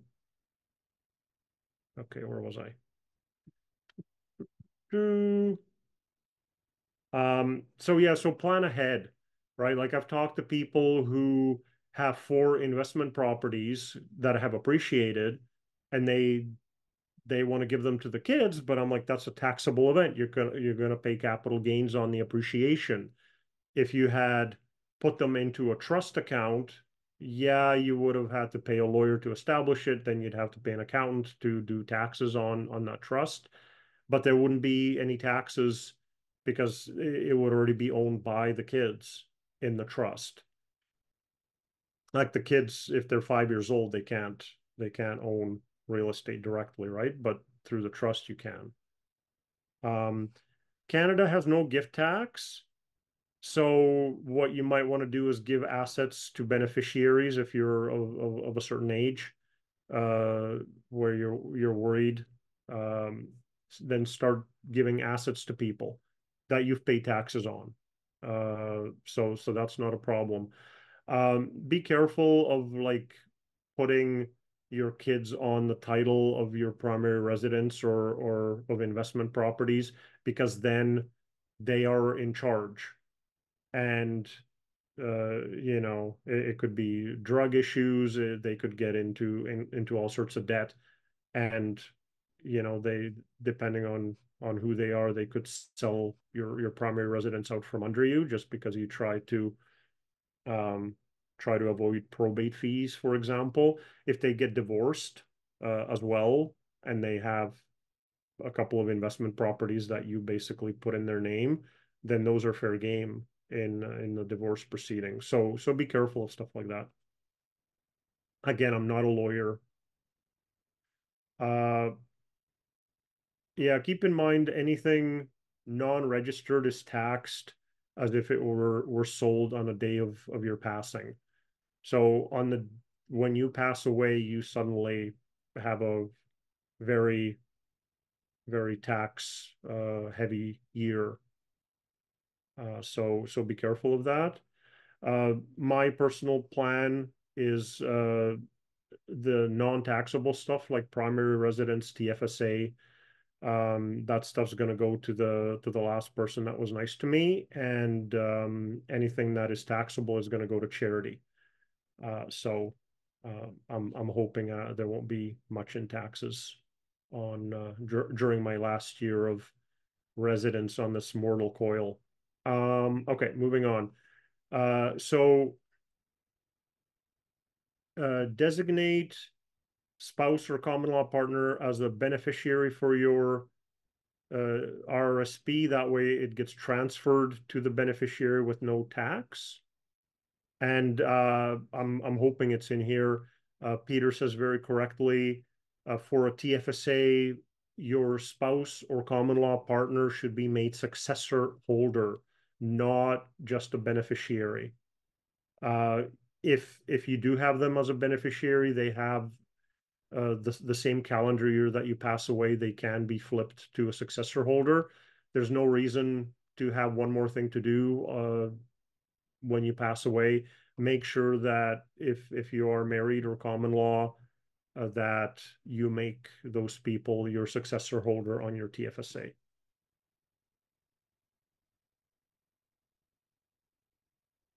Um, okay, some advanced tax concepts. I'll just throw this out out to you since we're we're spending the, so much time on uh, on taxes.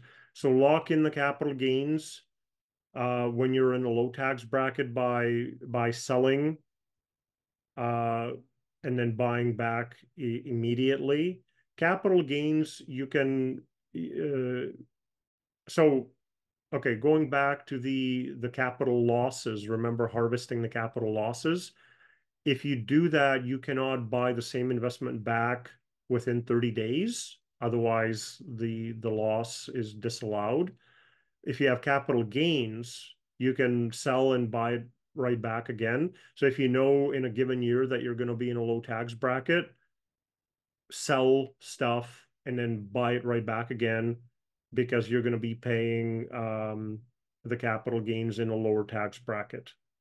If so, you're you're sort of locking in those capital gains during a low tax bracket. Buy the stuff right back again, and then just let it keep appreciating. Uh, withdraw RSPs in a year when you're in a low tax bracket, which is a must have for, for all RSPs. Do the capital loss selling to offset the capital gains in non-registered accounts. You have to wait for the 30 days I mentioned to buy back the losing securities. So if you believe the security is is a lost cause, just sell it, take the the take the capital loss, use it to your own benefit against the capital gain. If you believe this, there's still a good um, there's still a a good uh, uh, stock there, but you want to harvest the capital loss, then either buy something different but similar, uh, or wait 30 days. Uh, okay, so this is back to the TFSA uh, successor holder or beneficiary. If you want to, to designate a friend, not a spouse or common law person, to inherit uh, your TFSA, can they be designated as a benefit? Correct, Cindy. They can only be designated as a beneficiary. They cannot be made into a successor holder. Um, I'm not sure who checks, to, to be honest. Uh, certainly not when you're filling out the forms uh, especially if you're doing them online. But when it's going through probate, then the verification happens. And if you, you know, if you make your, your child your uh, your successor holder, that's the, they're going to be flipped down to a beneficiary anyway. I would I would presume, or possibly just put the the whole TFSA would be made part of your uh, your estate uh, and I'm not sure which one of those would would necessarily happen because I'm also not a judge. Um, but yeah, just may if it's not a spouse or a common law partner, you have to make them a beneficiary. Um, keep registered assets invested so they get the tax deferred growth unless you have so much RSP that it'll put you into a high tax bracket at 71 and your OAS is going to get clawed back, uh, then then look at the RSP meltdown where you start taking it at, at 60, uh, which is sort of my plan. Um, uh, another little thing that a lot of people don't know about, you can fill out this form. It's not hard. You just Google T1213. Um, if your buying RSPs on your own that your payroll department does not know about, they're not uh, they're not charging you less taxes. So if you fill out this form, you send it to the CRA with proof that you're buying RSPs that your payroll doesn't know about. The CRA will probably towards end of January, if you do it first thing uh, every year, your the CRA will send you uh, a letter to give to your payroll department to start withholding, deducting less taxes from your uh, from your salary, from your payroll.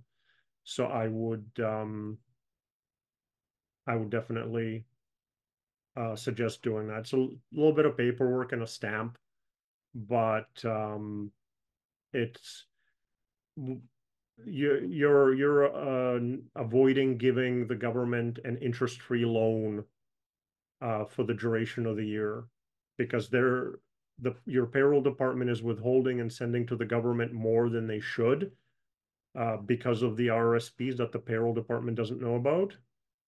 Um, and it'd be better if you had that money to hopefully invest, but to play with, right? Uh, the other thing is um, uh, if you're doing RSPs through your company, then your payroll department should know about that, but I would still check on that. Okay, so that was the end. My goodness, I hope that was useful. Uh, pretty long. Uh, we'll keep we'll keep going. What time is it? It is it is eight o'clock. Um, okay. I still got kind of a couple of quick. Well, we've got a couple of seminars. You guys want me to keep pushing on here? Can can you guys stay? Uh, there's a couple of faster seminars. This one was was a doozy. Okay, so let's let's keep going.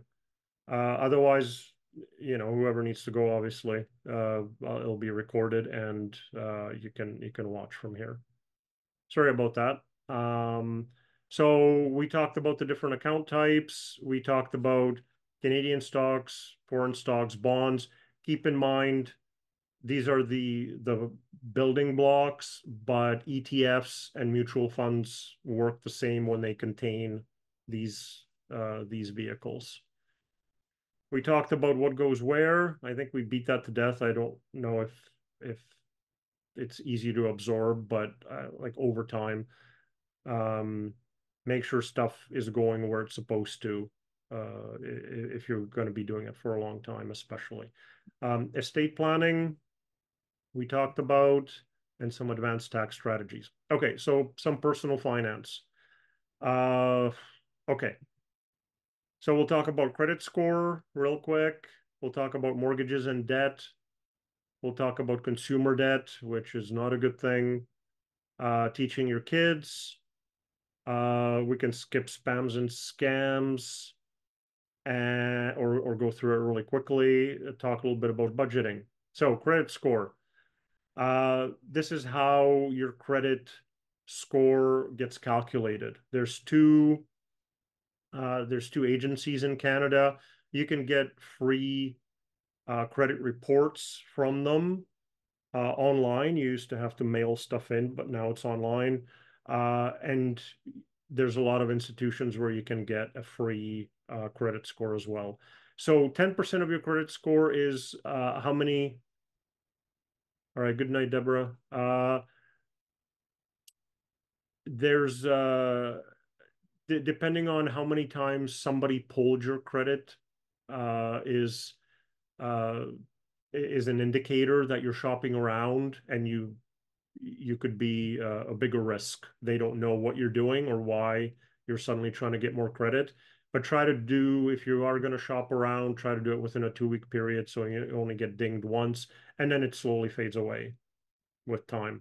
Credit mix, uh, different types of loans give you a better score in this. You note it's only 10% anyways. Don't get a bunch of loans to to improve this. Like what they want is you you to have a credit card, a home equity line of credit, a mortgage, uh, a, a car loan, an unsecured line of credit. Like those are all the the mix. uh, I get whatever I need, and I'm not gonna get a car loan and start paying interest just to get a slightly better credit score. I'm not gonna get a car. uh, credit history, uh, how long you've had your um your your credit cards and so on.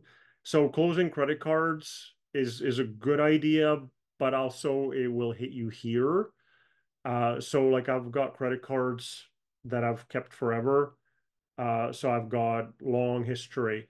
They would rather you to be a, a bad known credit risk rather than to be an unknown credit risk. So it's better to have bad history than to have none because apparently they have a very lively imagination of what what you could do. Credit utilization is the big one uh, accounts for 30%. Try to use a third, less than a third of your available credit. So don't max out your credit cards. Don't carry maxed out credit cards. Don't have your credit lines and HELOC past a third of the available credit. If you get more credit available, then this improves. Um, but don't don't get stuff just to do a better credit score. Uh, payment history. Um, uh, have you been paying your bills on time? So these last two kind of count for the most.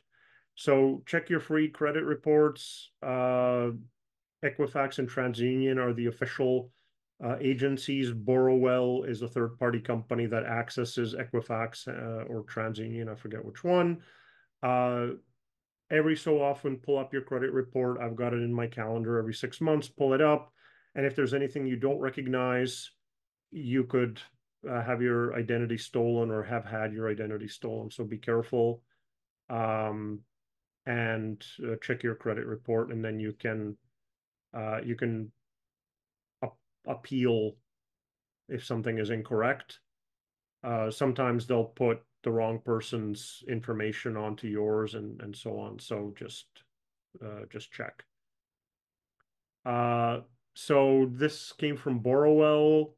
Uh, so it basically th this happens to be mine back in 2022. I think it's it's about the same these days. So no missed payments, no change to credit utilization. I was at 22% back then. Uh, no derogatory uh, remarks. Average credit age is nine. How many accounts? And here, here were the inquiries. So this sort of mentions the um, what determines that score. Uh, do you have a good credit score? Uh, if you're sort of in the 700s, you're good. If you're in the 800s, you're excellent. Uh, obviously, the better credit score you have, you'll be guaranteed to get loans and you might have negotiating power to get better interest rates as well. Uh, different institutions use use slightly different weightings on stuff. Uh, average Canadian is 672, so average Canadian is is fair. Mortgage and debt, variable mortgages versus fixed. Uh, I'm not going to go into this because I've took so long on the taxes. Open means you can put money back in and take it out. Uh, that ends up being sort of a line of credit-ish. Uh, closed means you're prevented from putting additional money in. Um, there's penalties for breaking a mortgage, usually three months worth of interest. So if if interest rates change and you have a, a fixed rate mortgage, it might be worth it for you to break it and pay the penalty and get lower interest rates. Um, whether to pay off a mortgage or to invest is uh, is a sort of a personal thing. I usually draw the line around six percent. Uh, if the interest rate of the mortgage is six percent, that's sort of hard to beat uh, consistently because the 6% that is what you're saving when you pay off the mortgage. But if if your mortgage is 3%, you should be able to do better investing. So that's sort of the age old question. The other thing is, is the interest uh, tax deductible or not? Uh, So if you borrow to invest, it's in a non-registered account and there's an expectation of cash flow, the the loan should be uh, uh, tax deductible for the interest. Um, so in that case, that's speaking against paying it off because you're going to not be uh, because of that tax deduction you get from the uh, interest. Um, you have to be comfortable with risk if you're going to be borrowing to invest. Um, and comfortable with debt. Some people culturally or just personally they they hate debt and they want to pay it off. And so if that's you and you want to feel comfortable then pay it off. Uh, some people me included i see good debt. If it helps your money grow uh, if you're using borrowed money to buy appreciating assets that means you're getting ahead. Bad debt is for consumption or if you're buying depreciating assets don't borrow unless your back's against the wall in this case. Uh, borrowing to buy a car, I mean, uh, it's it is a depreciating asset. There is a value, uh, especially if it helps you make a salary. So you you gotta gotta think about all of that. But buying a boat is definitely bad debt, and going on a vacation on borrowed money is definitely bad debt. Uh, consumer debt, credit cards. Uh, I'm not adverse to credit cards. I if you get a couple of points, fine. If you get some cash back, fine. Uh, choose whatever credit card works best for you, whether for travel or mine are all cash back, uh, or uh, air, airline um, air miles. You absolutely have to pay the credit card off every month. And studies have shown that people spend more on credit cards than with cash because it, there, there's a little pain apparently when you hand over a bill. You're losing something, while with a credit card, you're not feeling that pain. I think if you're an adult and you have good self control, you should use credit cards. They're convenient. You you only have to pay once a month. You don't have to carry cash around. If you don't trust yourself, then don't have credit cards. Teaching kids, communicate, share information. Um, you can get, I've obviously never done this, but you can get a trust trading account uh, for for your child where you're sort of the caretaker, but it, it is in their name, I believe. Uh, and uh, get into stocks that they would be familiar with, like you know, uh, Netflix or Disney and stuff like that. Uh, so that way they kind of see how the stock market works, um, and it won't it won't be that pricey. Um, allowance or no allowance for chores, I can't really speak to that. That's your own decision. Uh, savings allowance versus spending versus gifting. So some parents say, here's 10 bucks, 20 bucks, whatever it is, and you have to save a couple of dollars, you can spend a couple of dollars, and then if that's what you're into, you can donate to charity a couple of dollars. So you kind of get into that cadence. Uh, pensions at work, really quickly. Defined benefit means they're promising you to pay you a certain uh, amount per month per year. So the risk is on your employer they're promising you a, a specific benefit. Defined contribution means they're investing something for you. They might be matching something that you're doing, uh, that you're investing, but your statement will show hundreds of thousands of dollars, hopefully. So if the stock market goes down, you are the one who bears the risk. Of course, if the stock market goes up disproportionately, then you're benefiting. But a lot of people, especially government pensions, uh, you know, would prefer the defined benefit where you know what you're going to be getting rather than it'll it'll depend on the stock market with the defined contribution.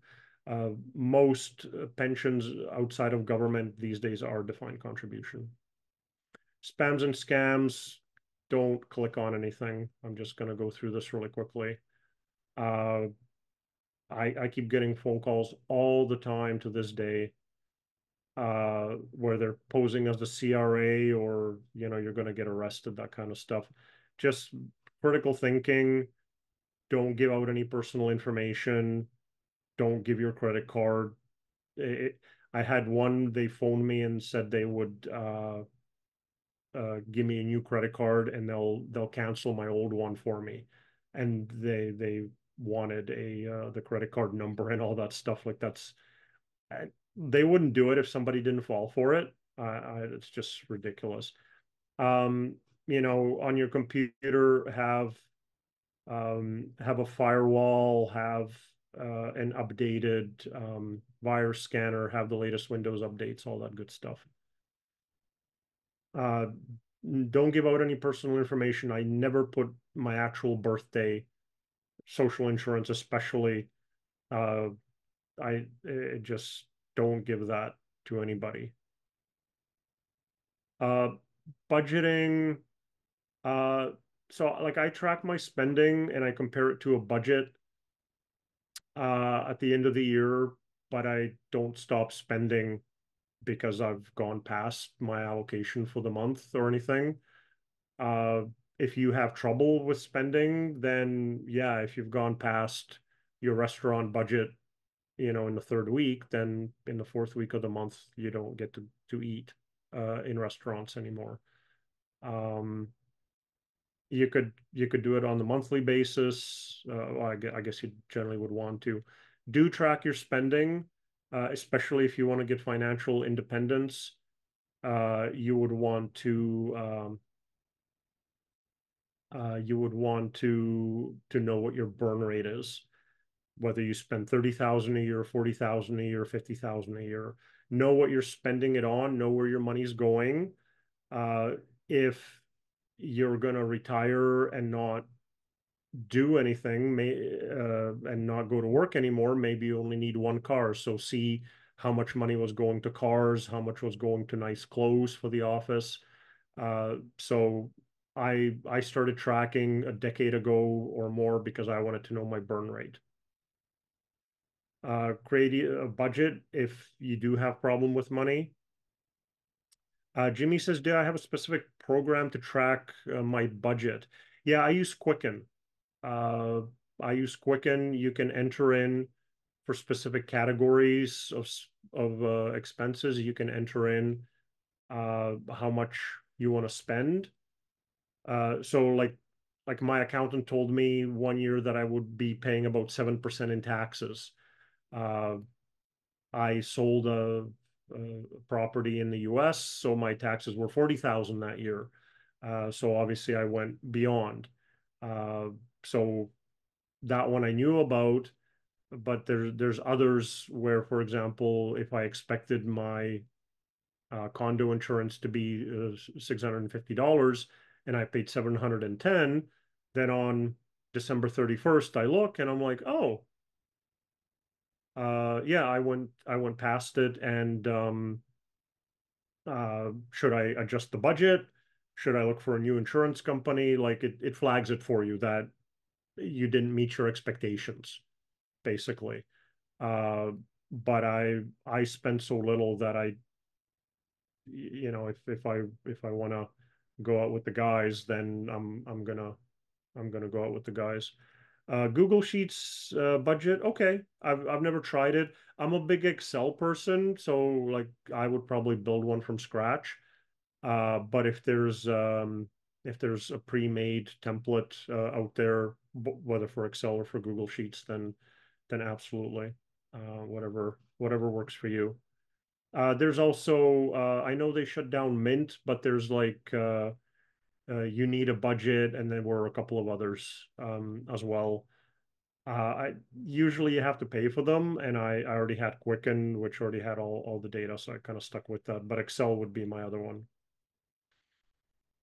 Um, so there's different types of budgets 50, 30, 20. I'll mention really quickly where uh, 50% of every dollar is used for spending, 30% for investing, and then 20% for saving. So you're actually not spending about half, which that's pretty uh, aggressive. Sort of an easier version is where 50% is needs, 30% is wants, and 20% is for savings and investing.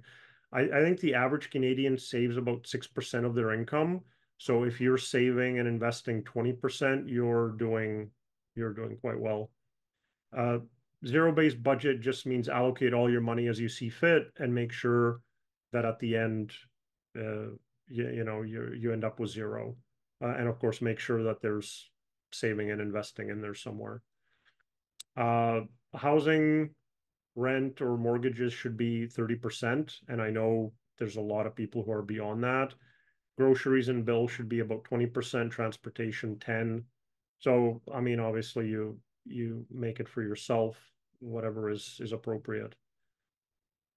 Budgeting isn't for everyone. If it makes you cringe, don't do it. Um, okay, just yeah, tracking the spending so you know how much you're going to be spending in retirement. I think is a is a good idea. Okay, so that's end of seminar seven. Um, because it's what eight thirty. Yeah. Uh, I'm probably going to call it a night. I didn't get as far as as I wanted. We'll see if we can catch up in the um, uh, in the last session, uh, which will be uh, next uh, Tuesday on the uh, uh, what is it, 20, 23rd? Yeah, 23rd. Uh, so the last session is 23rd on the Tuesday. Uh, so I'm going to conclude uh, kind of the personal finance uh, part. Uh, and uh, so we looked at taxes and credit scores and debt and teaching your kids and budgeting. So I would definitely suggest you track your spending at least for a time. Do it, you know, do it for three months and then just extrapolate from there just so you know what your um, uh, what your life would look like uh, in terms of money. So